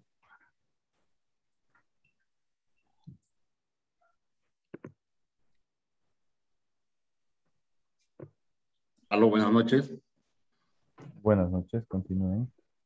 Bien, o sea, continuando con, la, con el tema de la formación psicopedagógica de los docentes universitarios, eh, se tiene que entender también que todo docente, eh, al ser un formador, al ser un formador de nuevos profesionales, eh, tiene que tener, tiene que tener eh, bastantes conocimientos sobre los métodos a enseñar dentro del proceso de aprendizaje, enseñanza-aprendizaje a sus alumnos, ¿no? Eh, los métodos participativos que debe emplear el docente en, el aula eh, debe ser de manera de que el estudiante tenga que ser un, un sujeto activo dentro de la clase, y también desarrollar actitudes que vayan a comprender el tema a desarrollar. Se debe propiciar una posición activa de parte de los educandos. También debe ser propicia la reflexión personalizada. Esto quiere decir de que eh, eh, dentro de un contexto donde se tiene varios, varios alumnos que, que son de diferentes estratos sociales, eh, cada uno presentan una, un rasgo personal social. Entonces el docente debe adquirir conocimientos para analizar el entorno y hacer propicia la posición activa de estos alumnos y también la reflexión personalizada a cada uno de ellos cuando estos no puedan entender ciertos aspectos que se está impartiendo dentro del proceso, del proceso de la enseñanza y aprendizaje. La comunicación es importante dentro de este proceso, ya que el profesor y el alumno debe estar, este, esta comunicación debe estar basada fundamentalmente en el respeto mutuo. En la anterior clase habíamos hablado de esta situación de que eh, en la actualidad, por ejemplo, se confunde mucho estos aspectos y el, y el licenciado explicaba en el este de que nosotros como futuros docentes debemos marcar nuestros límites con nuestros, con los alumnos y con, principalmente con, con, con, los alumnos femeninos, porque el tocarle el brazo, ponerle la mano al hombro, esto podría conllevar a una situación que se pueda malinterpretar y puedan poner en conflicto a los docentes. Entonces, la comunicación entre el profesor y el alumno debe estar basada fundamentalmente en el respeto mutuo, el respeto recíproco que debe, debe, debe, debe existir, generando confianzas y las relaciones auténticas profesor-alumno, ¿no? Simplemente eso. Gracias, Gabriel. ¿Usted estaba trabajando en, en Tres Ríos, con, restableciendo la energía? Sí, estamos, seguimos muertos todavía aquí, seguimos, tenemos problemas en el área, tenemos en el área rural problemas todavía. Gracias por hacer el esfuerzo de estar en la clase, Gabriel. no, no se preocupe. Listo. Gracias. gracias a usted.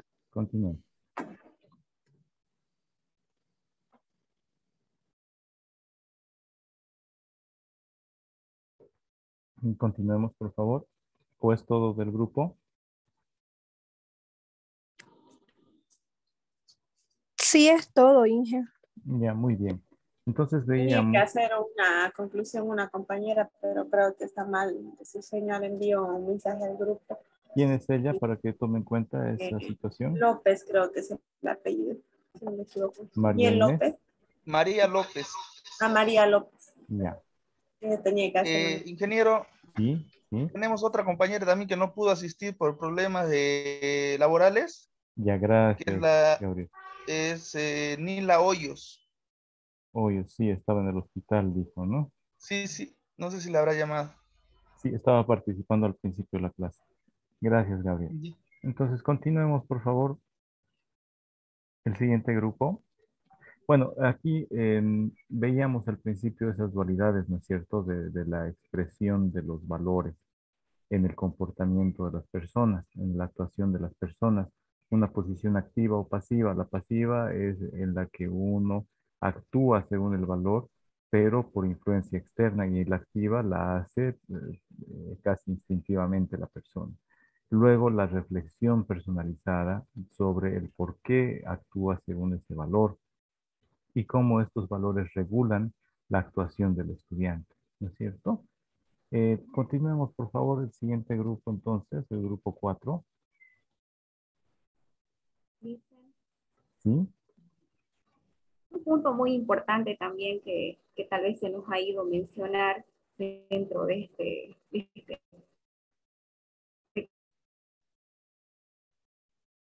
Hola. ¿Sí? No se escucha muy bien, Ivana.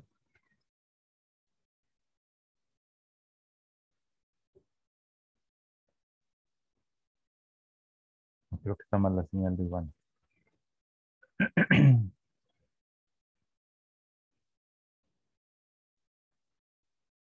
Mm, No se escucha bien, no se escucha nada. No sé si es mi señal o de Ivana.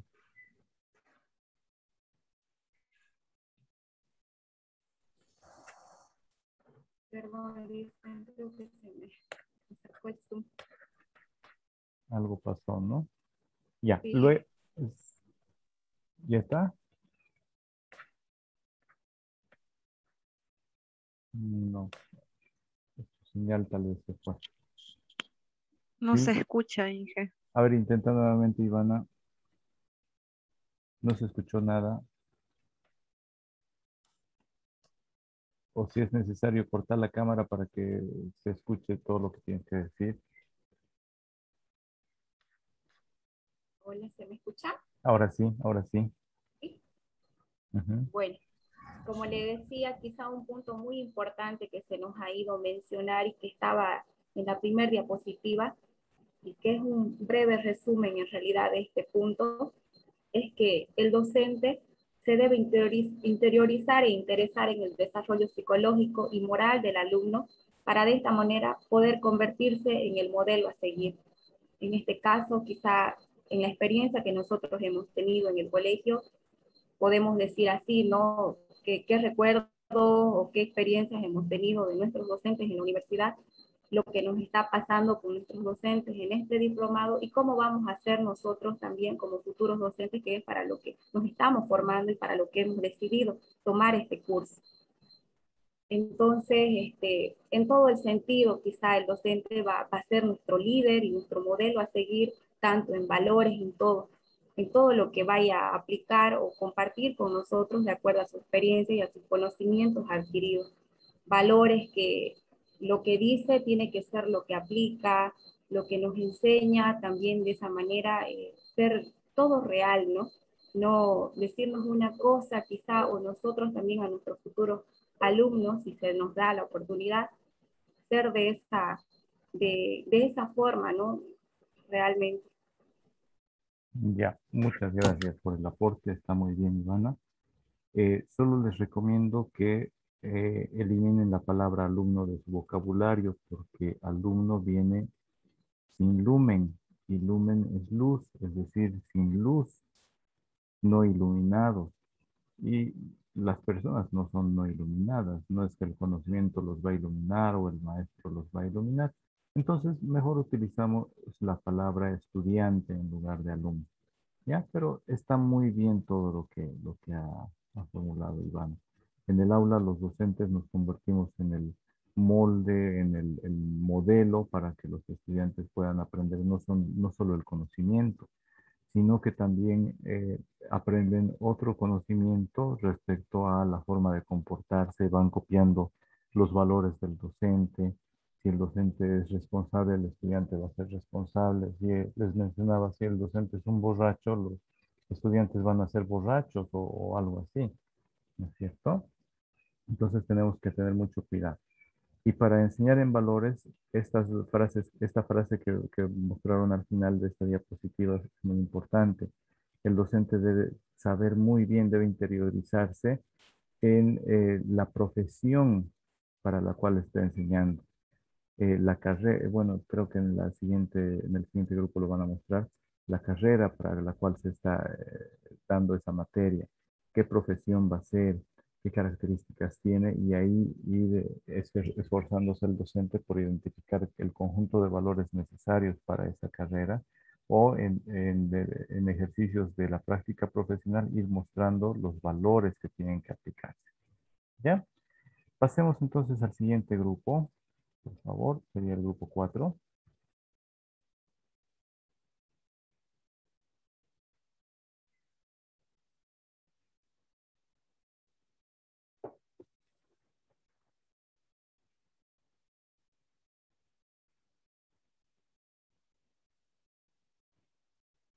El grupo 4, por favor.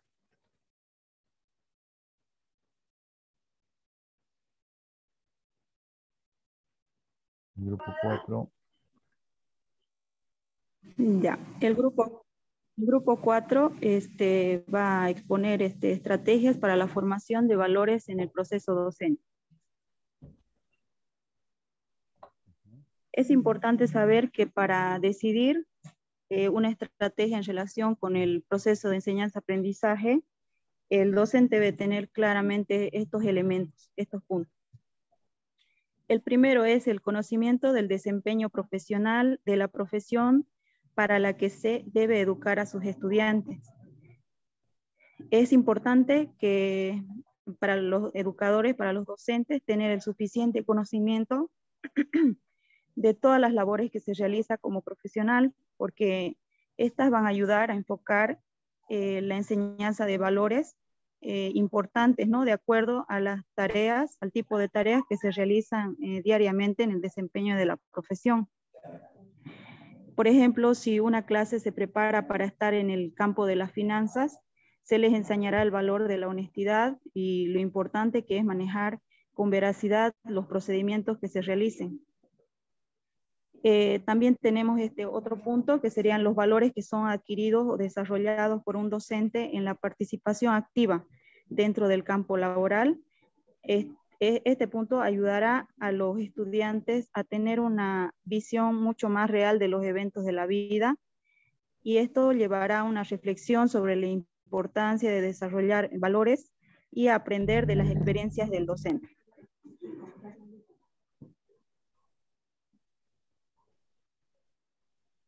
Otra estrategia es el conocimiento general del plan de estudios de la carrera. Eh, este punto, esta estrategia es tomada en cuenta eh, por la razón que permite al docente tener una visión más clara de la realidad de los estudiantes y a enfocar de la manera más apropiada sus objetivos educativos, es decir, los valores que le van a servir a futuro como estudiante y como profesional.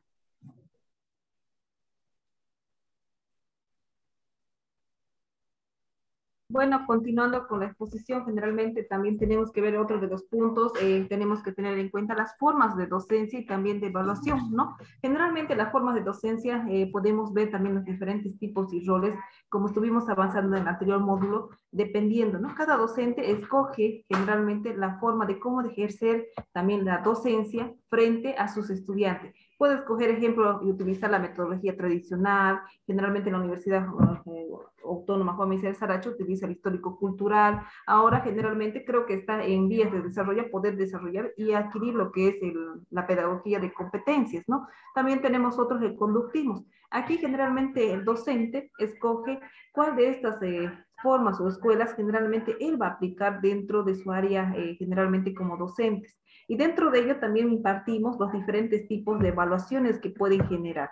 Generalmente se le orienta aquí y el docente debe de tener evaluaciones de diferentes tipos de manera, no ser este, todo el tiempo lo mismo, lo mismo, ¿no? Debe hacer evaluaciones didácticas, formativas y también sumáticas, que también tienen que evaluar totalmente conocimientos, habilidades, capacidades o destrezas, también como ejemplo actitudes intereses y expectativas de ese estudiante o alumnado. Dentro del papel del formador, generalmente como docente, es el centro del, eje y de ser de formar, generalmente tiene que hacer un seguimiento y evaluación permanente al estudiante. Debe de realizar también innovación educativa, como ahora lo estamos realizando, eh, utilizada y apoyada también por las TIC, ¿no? que son totalmente programas y desarrollos a nivel de páginas web. Ejemplo, también tenemos que el mediador debe ser la construcción del conocimiento y la guía también para el estudiante y ejemplo a seguir.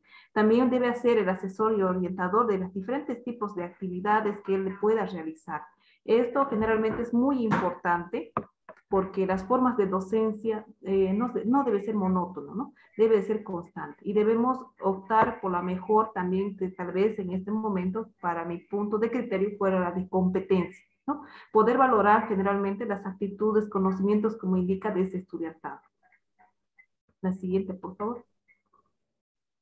Eh, dentro otro tenemos que el conocimiento de las características personales, tanto de los estudiantes como también tanto en los grupos que conforman generalmente ellos, eh, realizan de forma, y hay que hacerlo también de forma individual, ¿no? Ya que tanto el aprendizaje como la educación son eh, procesos individualizados sin dejar de tener presente la influencia de grupo. Generalmente eh, pasa en situaciones de clase cuando hacen trabajos de grupo generalmente. Bueno, sabemos que tener en cuenta que dentro de un grupo de cinco o siete estudiantes, generalmente son tres a cuatro que llegan a desarrollar tal vez la temática o el contenido. Y a veces quedan ¿no? estudiantes, como por decir, irresponsables, que no puede realizar el trabajo a tiempo y obviamente eso tenemos que ver la calificación. Generalmente a veces somos y calificamos de manera o se califica de manera grupal. Esto puede llegar a afectar también hacia los otros estudiantes dependiendo del desempeño que ellos realizan en sus trabajos. Eh, cuando falta una parte del porcentaje del trabajo, a veces generalmente los docentes anulan o bajan la nota a todos de manera grupal. Y generalmente esto también tenemos que individualizar y poner en cuenta el trabajo individual como también el trabajo grupal, ¿no? Para eso tenemos que organizarnos también las condiciones de enseñanza, ver el trabajo que el grupo ha realizado y también individualmente cómo lo ha realizado. Ejemplo, la investigación, la innovación y la planificación que ellos han podido realizar respecto al contenido, el tema que se les ha podido dar, ¿no? Siguiente. ¿Puede continuar, por favor? desarrollo de una comunicación efectiva. La comunicación efectiva tiene que ver con entender las emociones e interacción entre la información que se elige como catalizador.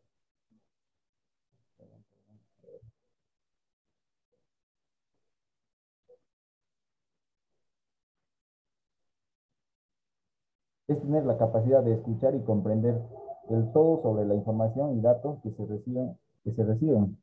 Recordemos la siguiente frase, entendernos para ser entendidos. La comunicación es efectiva, por ejemplo, en una empresa o organización cuando comparten la información entre ellos, entre los socios. La comunicación también es efectiva cuando la información se presenta de manera completa y de manera clara. Utilización de métodos participativos en la resolución de problemas profesionales. La metodología participativa es una metodología de investigación que concibe a los participantes del proyecto como agentes activos en la construcción del conocimiento y no como agentes pasivos o simples receptores. De esta forma, promueve que todos los participantes contribuyan de, forma activa al proceso de enseñar y de aprender, en lugar de recibir pasivamente la información de expertos de afuera, que en ocasiones pueden desconocer o entender, entender debidamente los locales. Eh, en sí, de esta manera se promueve eh, que todos los participantes eh, puedan contribuir ¿no? con, sus, con sus conocimientos en el, proceso de enseñanza y aprendizaje.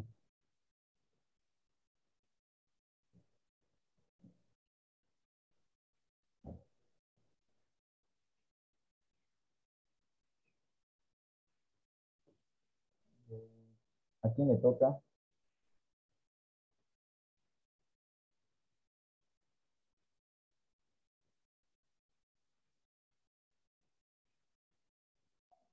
Compañeros, ¿quién tiene que hacer esa parte? O tal vez podríamos pasar, por ahí no está el compañero.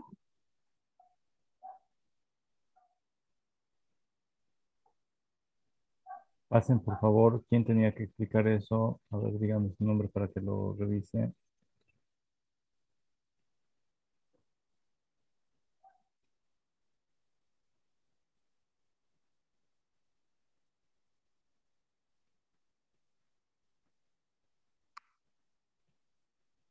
Ya, pasen por favor.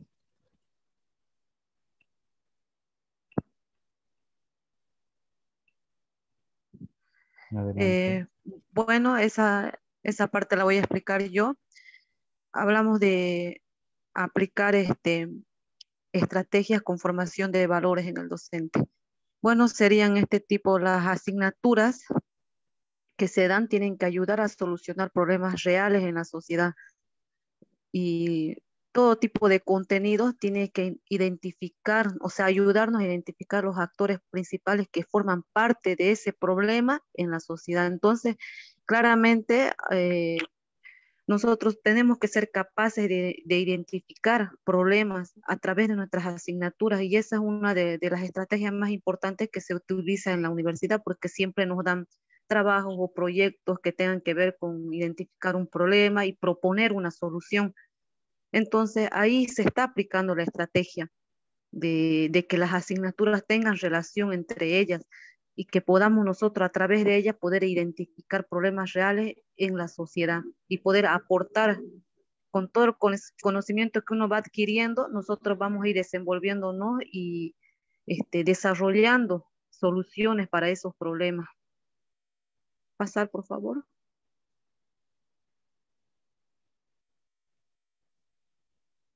Eh, la búsqueda de contenidos multidisciplinarios quiere, decir que todos los contenidos tienen que tener relación entre ellos, o sea que las disciplinas deben estar interrelacionadas para poder este, apoyarse y, guiarse entre ellas.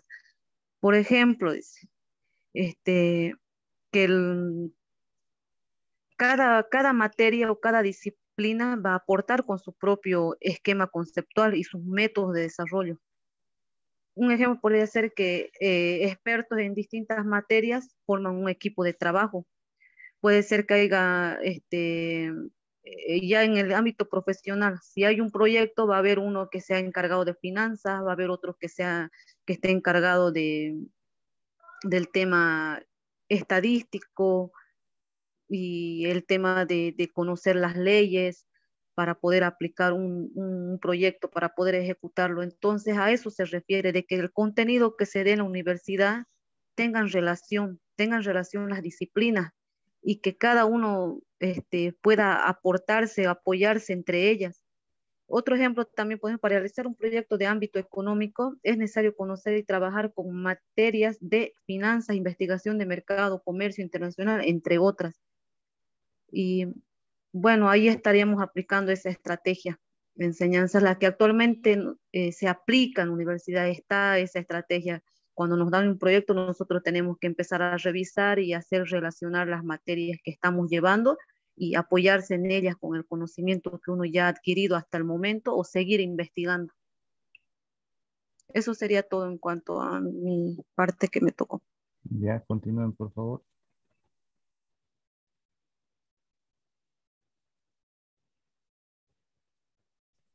Eh, buenas noches, buenas noches ingeniero, buenas, noches. Buenas noches compañeros del curso. A mí me tocó el último punto, muy importante a mi parecer, detección de los principales problemas en el proceso de enseñanza-aprendizaje. Eh, un problema de aprendizaje aparece cuando la persona tiene dificultades para aprender o fallas a utilizar una habilidad específica requerida para resolver una situación. Como puede ser atender, memorizar, planear, analizar, elaborar un juicio, elaborar una hipótesis, sintetizar información, jerarquizar acciones, comparar elementos, por mencionar unas habilidades.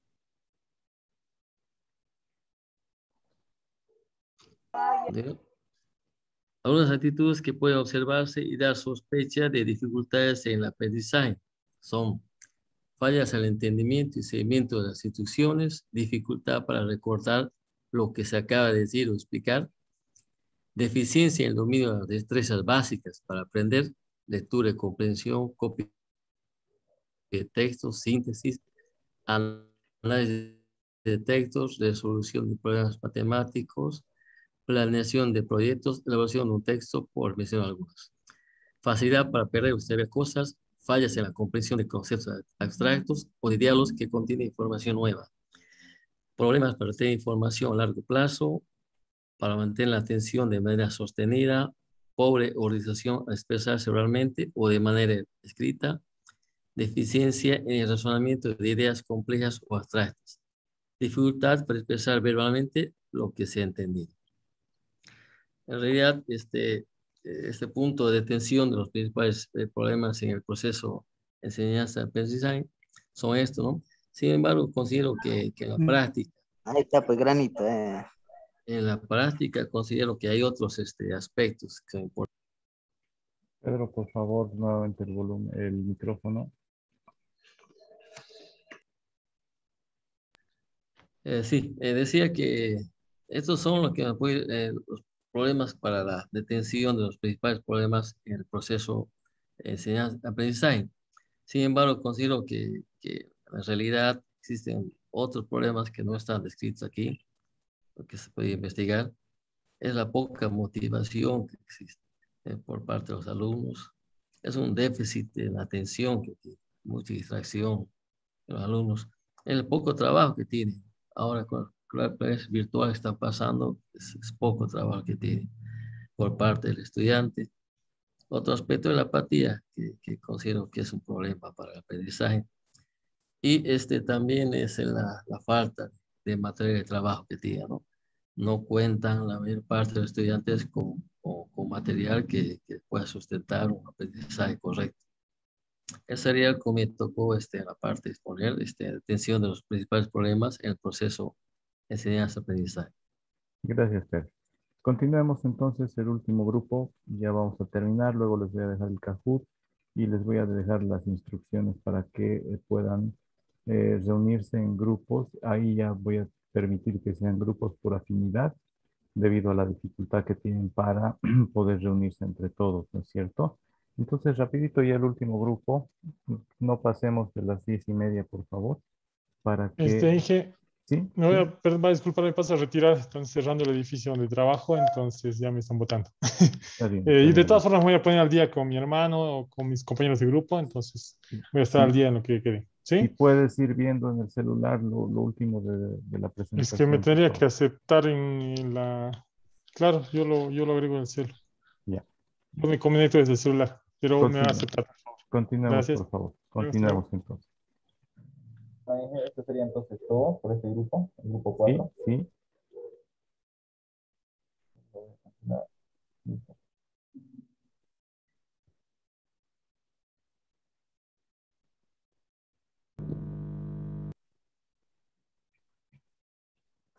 El grupo 5, rapidito, por favor.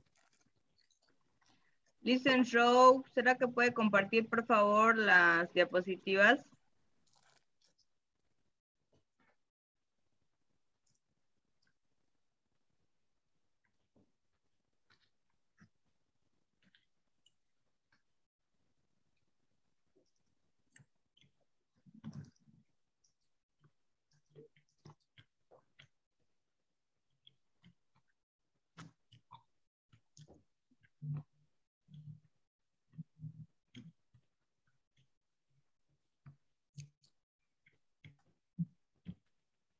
O algún otro miembro del equipo, por favor.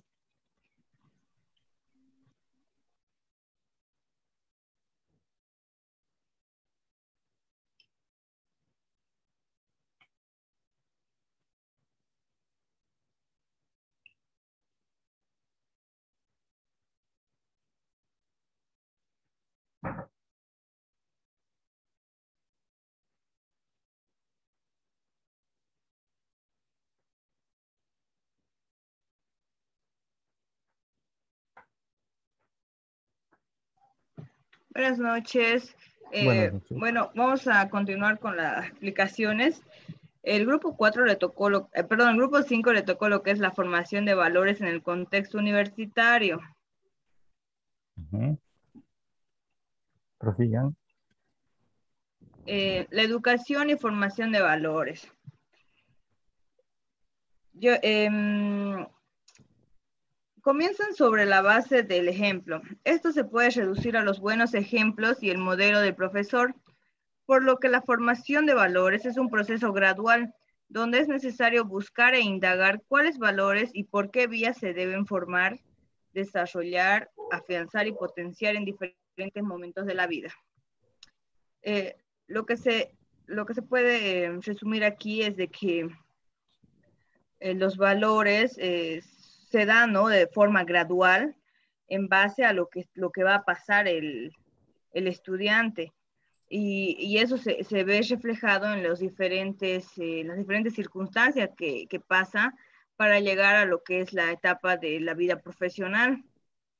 Eh, sabemos de que los valores se, se generan en base a, a, los, a los conflictos y tal vez a los a, lo que es la vivencia, ¿no? Y, y, en base a eso es donde se van arraigando más lo, los valores eh, más importantes y, y, donde, donde ya el profesional puede determinar cuáles son los que, los que va a usar, ¿no? Yo creo, en su vida. Entonces, eh, yo creo que se, se resumiría en eso. Ya, continuamos, por favor. Buenas noches, Inge. Buenas noches. Buenas noches a todos. Bueno, yo continúo lo que es el, el tema que tocado nosotros, la formación de, de, valores en el contexto. Bueno, en el siguiente diapositiva podemos ver la importancia, la gran importancia que significa esta, estas relaciones la formación de valores es tan importante como el propio contenido que se imparte en cada una de las asignaturas. Se trata, por lo tanto, que el sistema de conocimientos y habilidades tenga implícito los valores que. ¿Qué nos dice esto? Pues, que bueno, que, un ejemplo, que como nosotros nos estamos formando como docentes, así como nos preparamos, ya sea un tema específico. En este caso, como vemos aquí, un pequeño este, cuadro. Un poquito más claro, por favor, José, no se le entiende. No sé si está bostezando o está con sueño o es la mala señal. No. Pero más claro, por favor. Ya, eh, bueno, volviendo entonces. Y es la diapositiva correcta. Los demás del grupo, por favor, apóyenlo. Ya. Ahorita estamos en la segunda diapositiva. Ya. Este, como podemos ver, por favor, la siguiente diapositiva. ¿Quién está? Por favor, Alejandra, la siguiente diapositiva.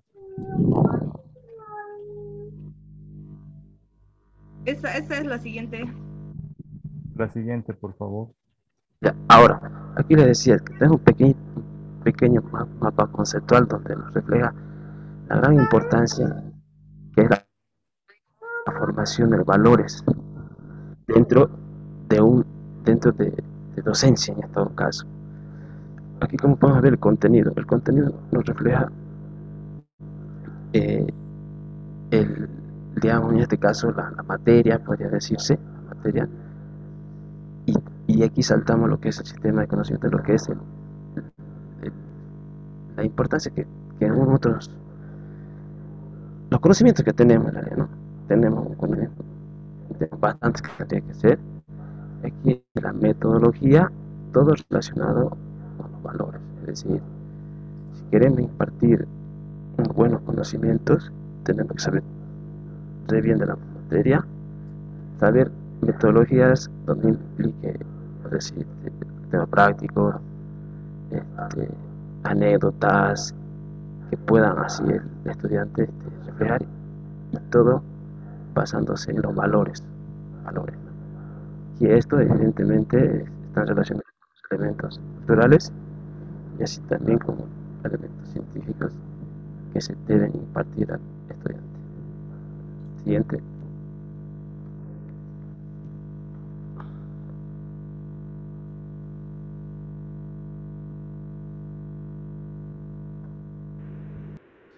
Noches, Inge. Buenas noches, eh, compañeros.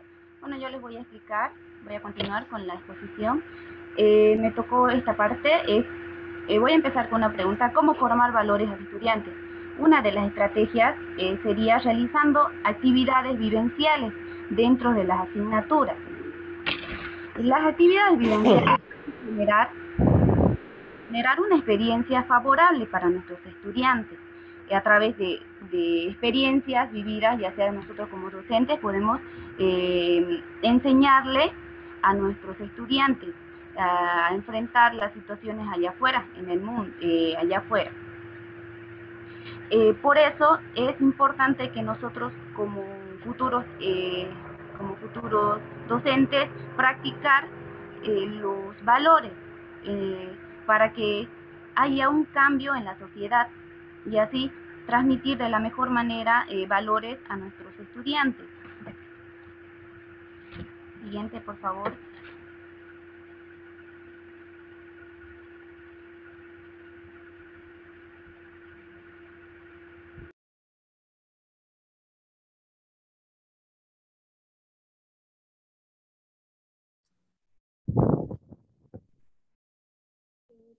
Buenas noches, continuando con la disertación. Dentro de los objetivos eh, instructivos existen elementos que van a contribuir al logro de los objetivos educativos.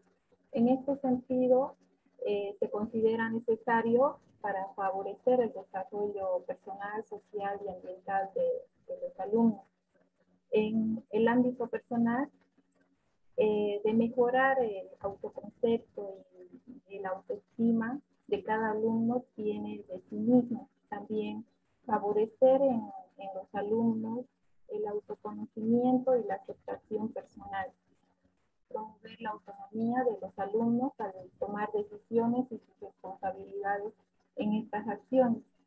Eh, en el ámbito social, eh, podemos decir de que mejorar también las relaciones de grupo y el clima de clase también aceptar al, compañero sin importar eh, raza, condición social, eh, religión.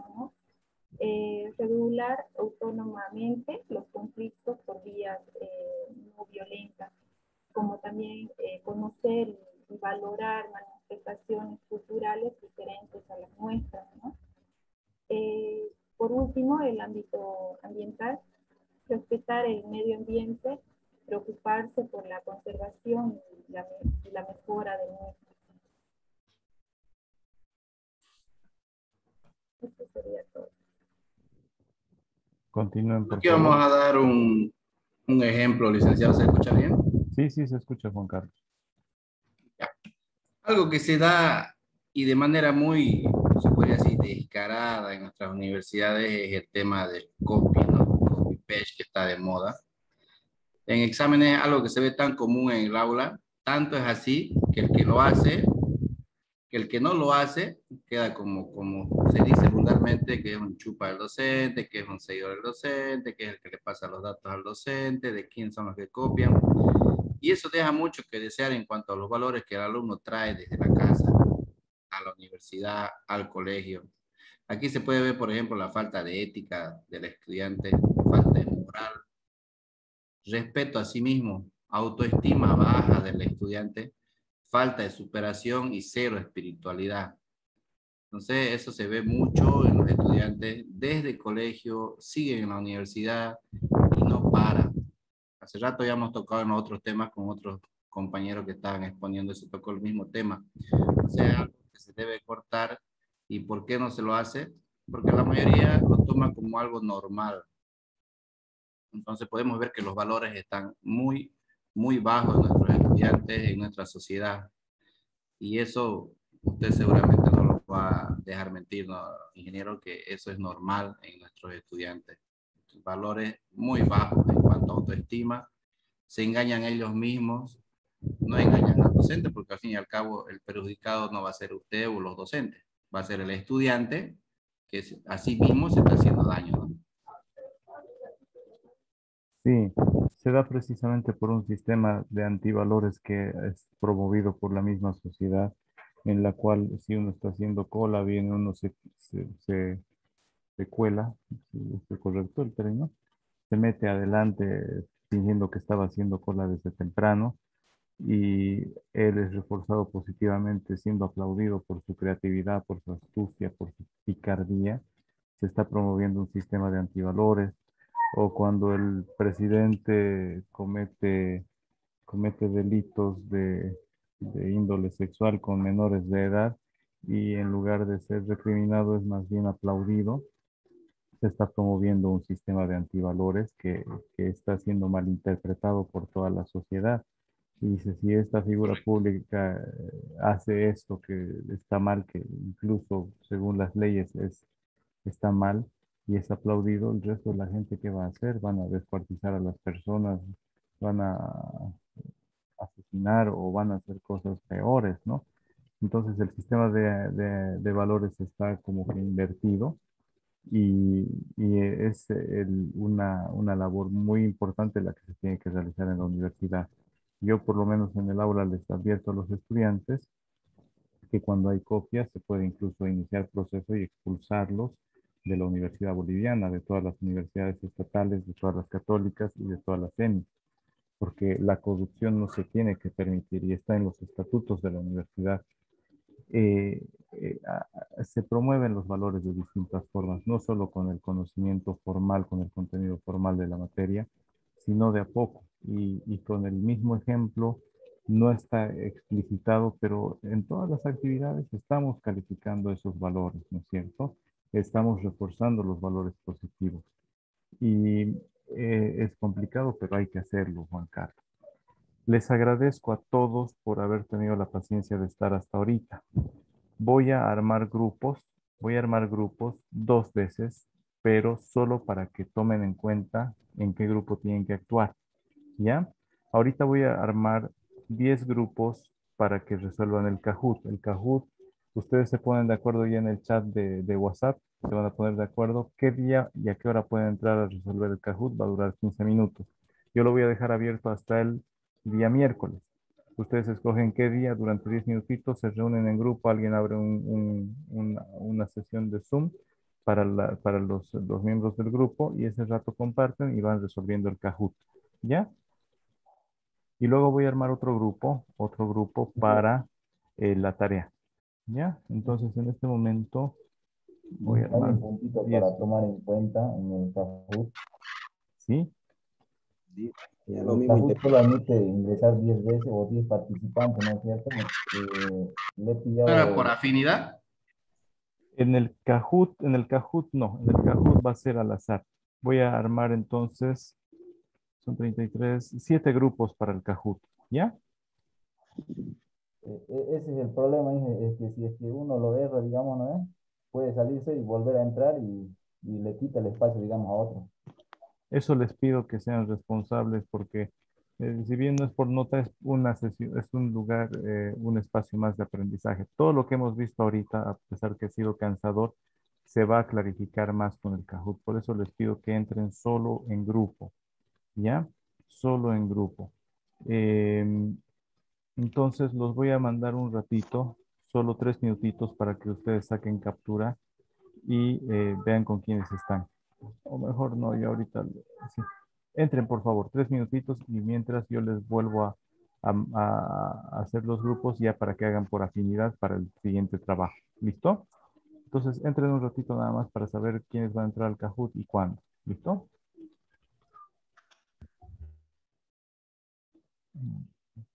Aquí vamos a terminar la sesión del día de hoy. Vamos a terminar aquí la sesión del día de hoy.